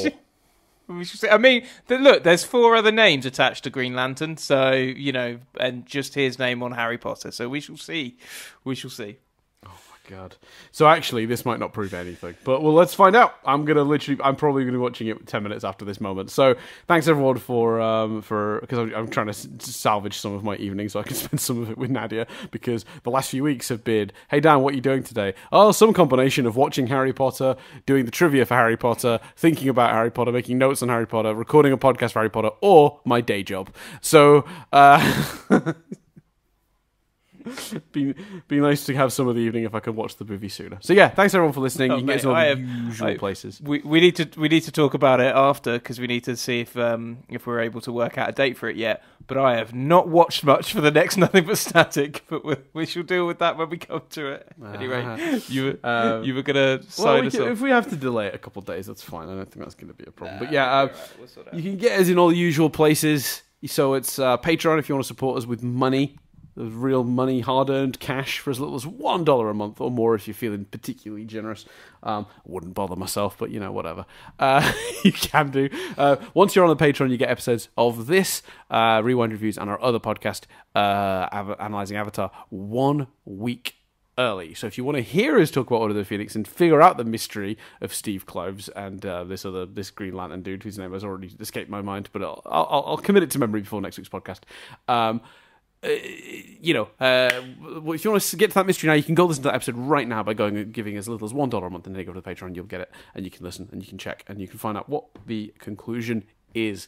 Um, if not, if you'd like to support us in a non-financial way, you can tell a friend. You definitely know someone who likes Harry Potter. Nudge them into watching these, and maybe they'll go and check out our other rewind reviews. Um, you can also review us on the various podcast platforms of your preference, so iTunes, Spotify, whatever you use, it'll probably have some sort of review or star or heart system where you can indicate that you enjoy it, and then that makes the algorithm, algorithm slash, you know, algorithm TM, uh, will then figure out whether to recommend our stuff to other people, so that can support us also. Or if you just think these are okay and you're listening to them out of just not having anything better to do, then you don't have to do any of that stuff. You can just listen. We appreciate you doing that. That's fine also you're allowed to be uh, ambivalent to what we do here on Nothing But Static. That's that's great. We enjoy that. Um, and if you absolutely hate this, I would recommend stopping. Just don't put. If you're not enjoying this, you're frustrated. You don't agree with any of our perspectives. You don't think we're funny. You don't think we're interesting. Don't listen. Will be my advice. yeah, don't worry, don't worry about it. We cover the whole spectrum there, from people enjoying this enough to give us money to people that hate it. I think we've given you all Yeah. um, uh, sufficient and correct homework. Yeah. Even though most people fall in the no opinion whatsoever category, smack bang in the middle of those two things. Yeah, fine. Absolutely fine. Be be ambivalent. I don't mind. Um, so yeah, thanks everyone for listening so much. We, we really do appreciate it. Um, you know, we, we, we really enjoy doing these. They're, they're, they're- you know, I joke about how much of my life gets dedicated to these when we have to do, especially when we're doing a couple close together. But um, uh, you know, I really have fun dissecting these sorts of movies, and I've, I've had a good time, particularly doing these Harry Potter ones, because I've been itching to talk about these movies for a long time, and this has been very cathartic. Uh, and I'm relieved that I've I seem to have mostly scrubbed myself from the in the book stuff from the first episode of this. I feel like we've had to learn how to review these movies uh, over the course of the first two or I've, 3 I, I've been uh, I've been way worse than that this week, but I think it's because the book's so fresh in my mind. Whereas I'm not gonna I'm not gonna get to the Order of the Phoenix now, and then in turn won't get to the Half Blood Prince before. So I think there'll be even less of that from both of us uh, Mm-hmm. next week because I've been a little guilty of that this week. Yeah, I, I would say I would say you were actually fairly guilty of that last week too. I mean, we I, I had two doing it really Mm, yeah, that's strongly. fair. I think the first two I was heavy on that, and the second two you were quite heavy on that. So maybe we'll maybe we Yeah, both purged it from our system now. we've, now we've both been the uh, you know push his nose up glasses in the book guy. Um, no, push his nose up glasses, push your glasses up nose guy. Um, pushing his nose up glasses. That's an interesting visual. I can't get that out of my head now. Anyway, thanks very much for listening. We do appreciate you. Uh, you can send us feedback if you have any, of course, to Twitter. Uh, send it to Twitter, not to us. Send it. To, we don't. We don't want to read it. Just tell Twitter what you think. Um, to at at Twitter support. Well, uh, they'll they'll get back to you. I'm sure. No, I'm at Dan Doolan. He's at C Billingham with two M's. Obviously, you can also leave a longer comment if you want on the YouTube video version of this podcast, which is available at youtube.com slash nothing but static UK. The Patreon, if I haven't already said it, is patreon.com slash nothing but static. And if you want to send us an email, you're welcome to do that too. We don't always get back to them, but we do love receiving them. It's mail at nothingbutstatic.co.uk. So there you go. That's all the stuff. Thanks everyone for listening. Uh, I'm going to hand it over to Chris to do a do to do his his his, his traditional ending. I've been Chris Billingham, I've been Dan Doolan. and this review from the Wizarding World has been rewound.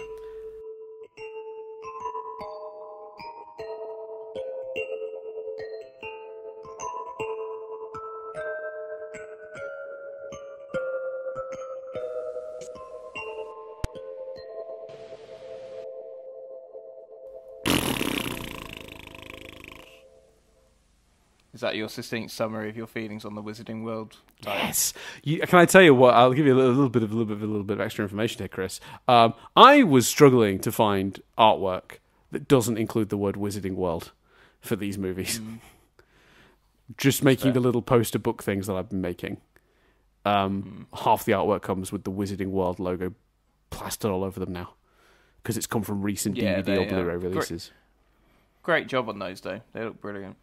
Yes, I'm very excited. I'm gonna make. I'm gonna make some more of them tonight. I've only made two so far, but I've I've, I've got all the assets together now to make the rest. So uh, they look good. I'm pretty pleased. Yeah, no. Yeah, really pleased with them.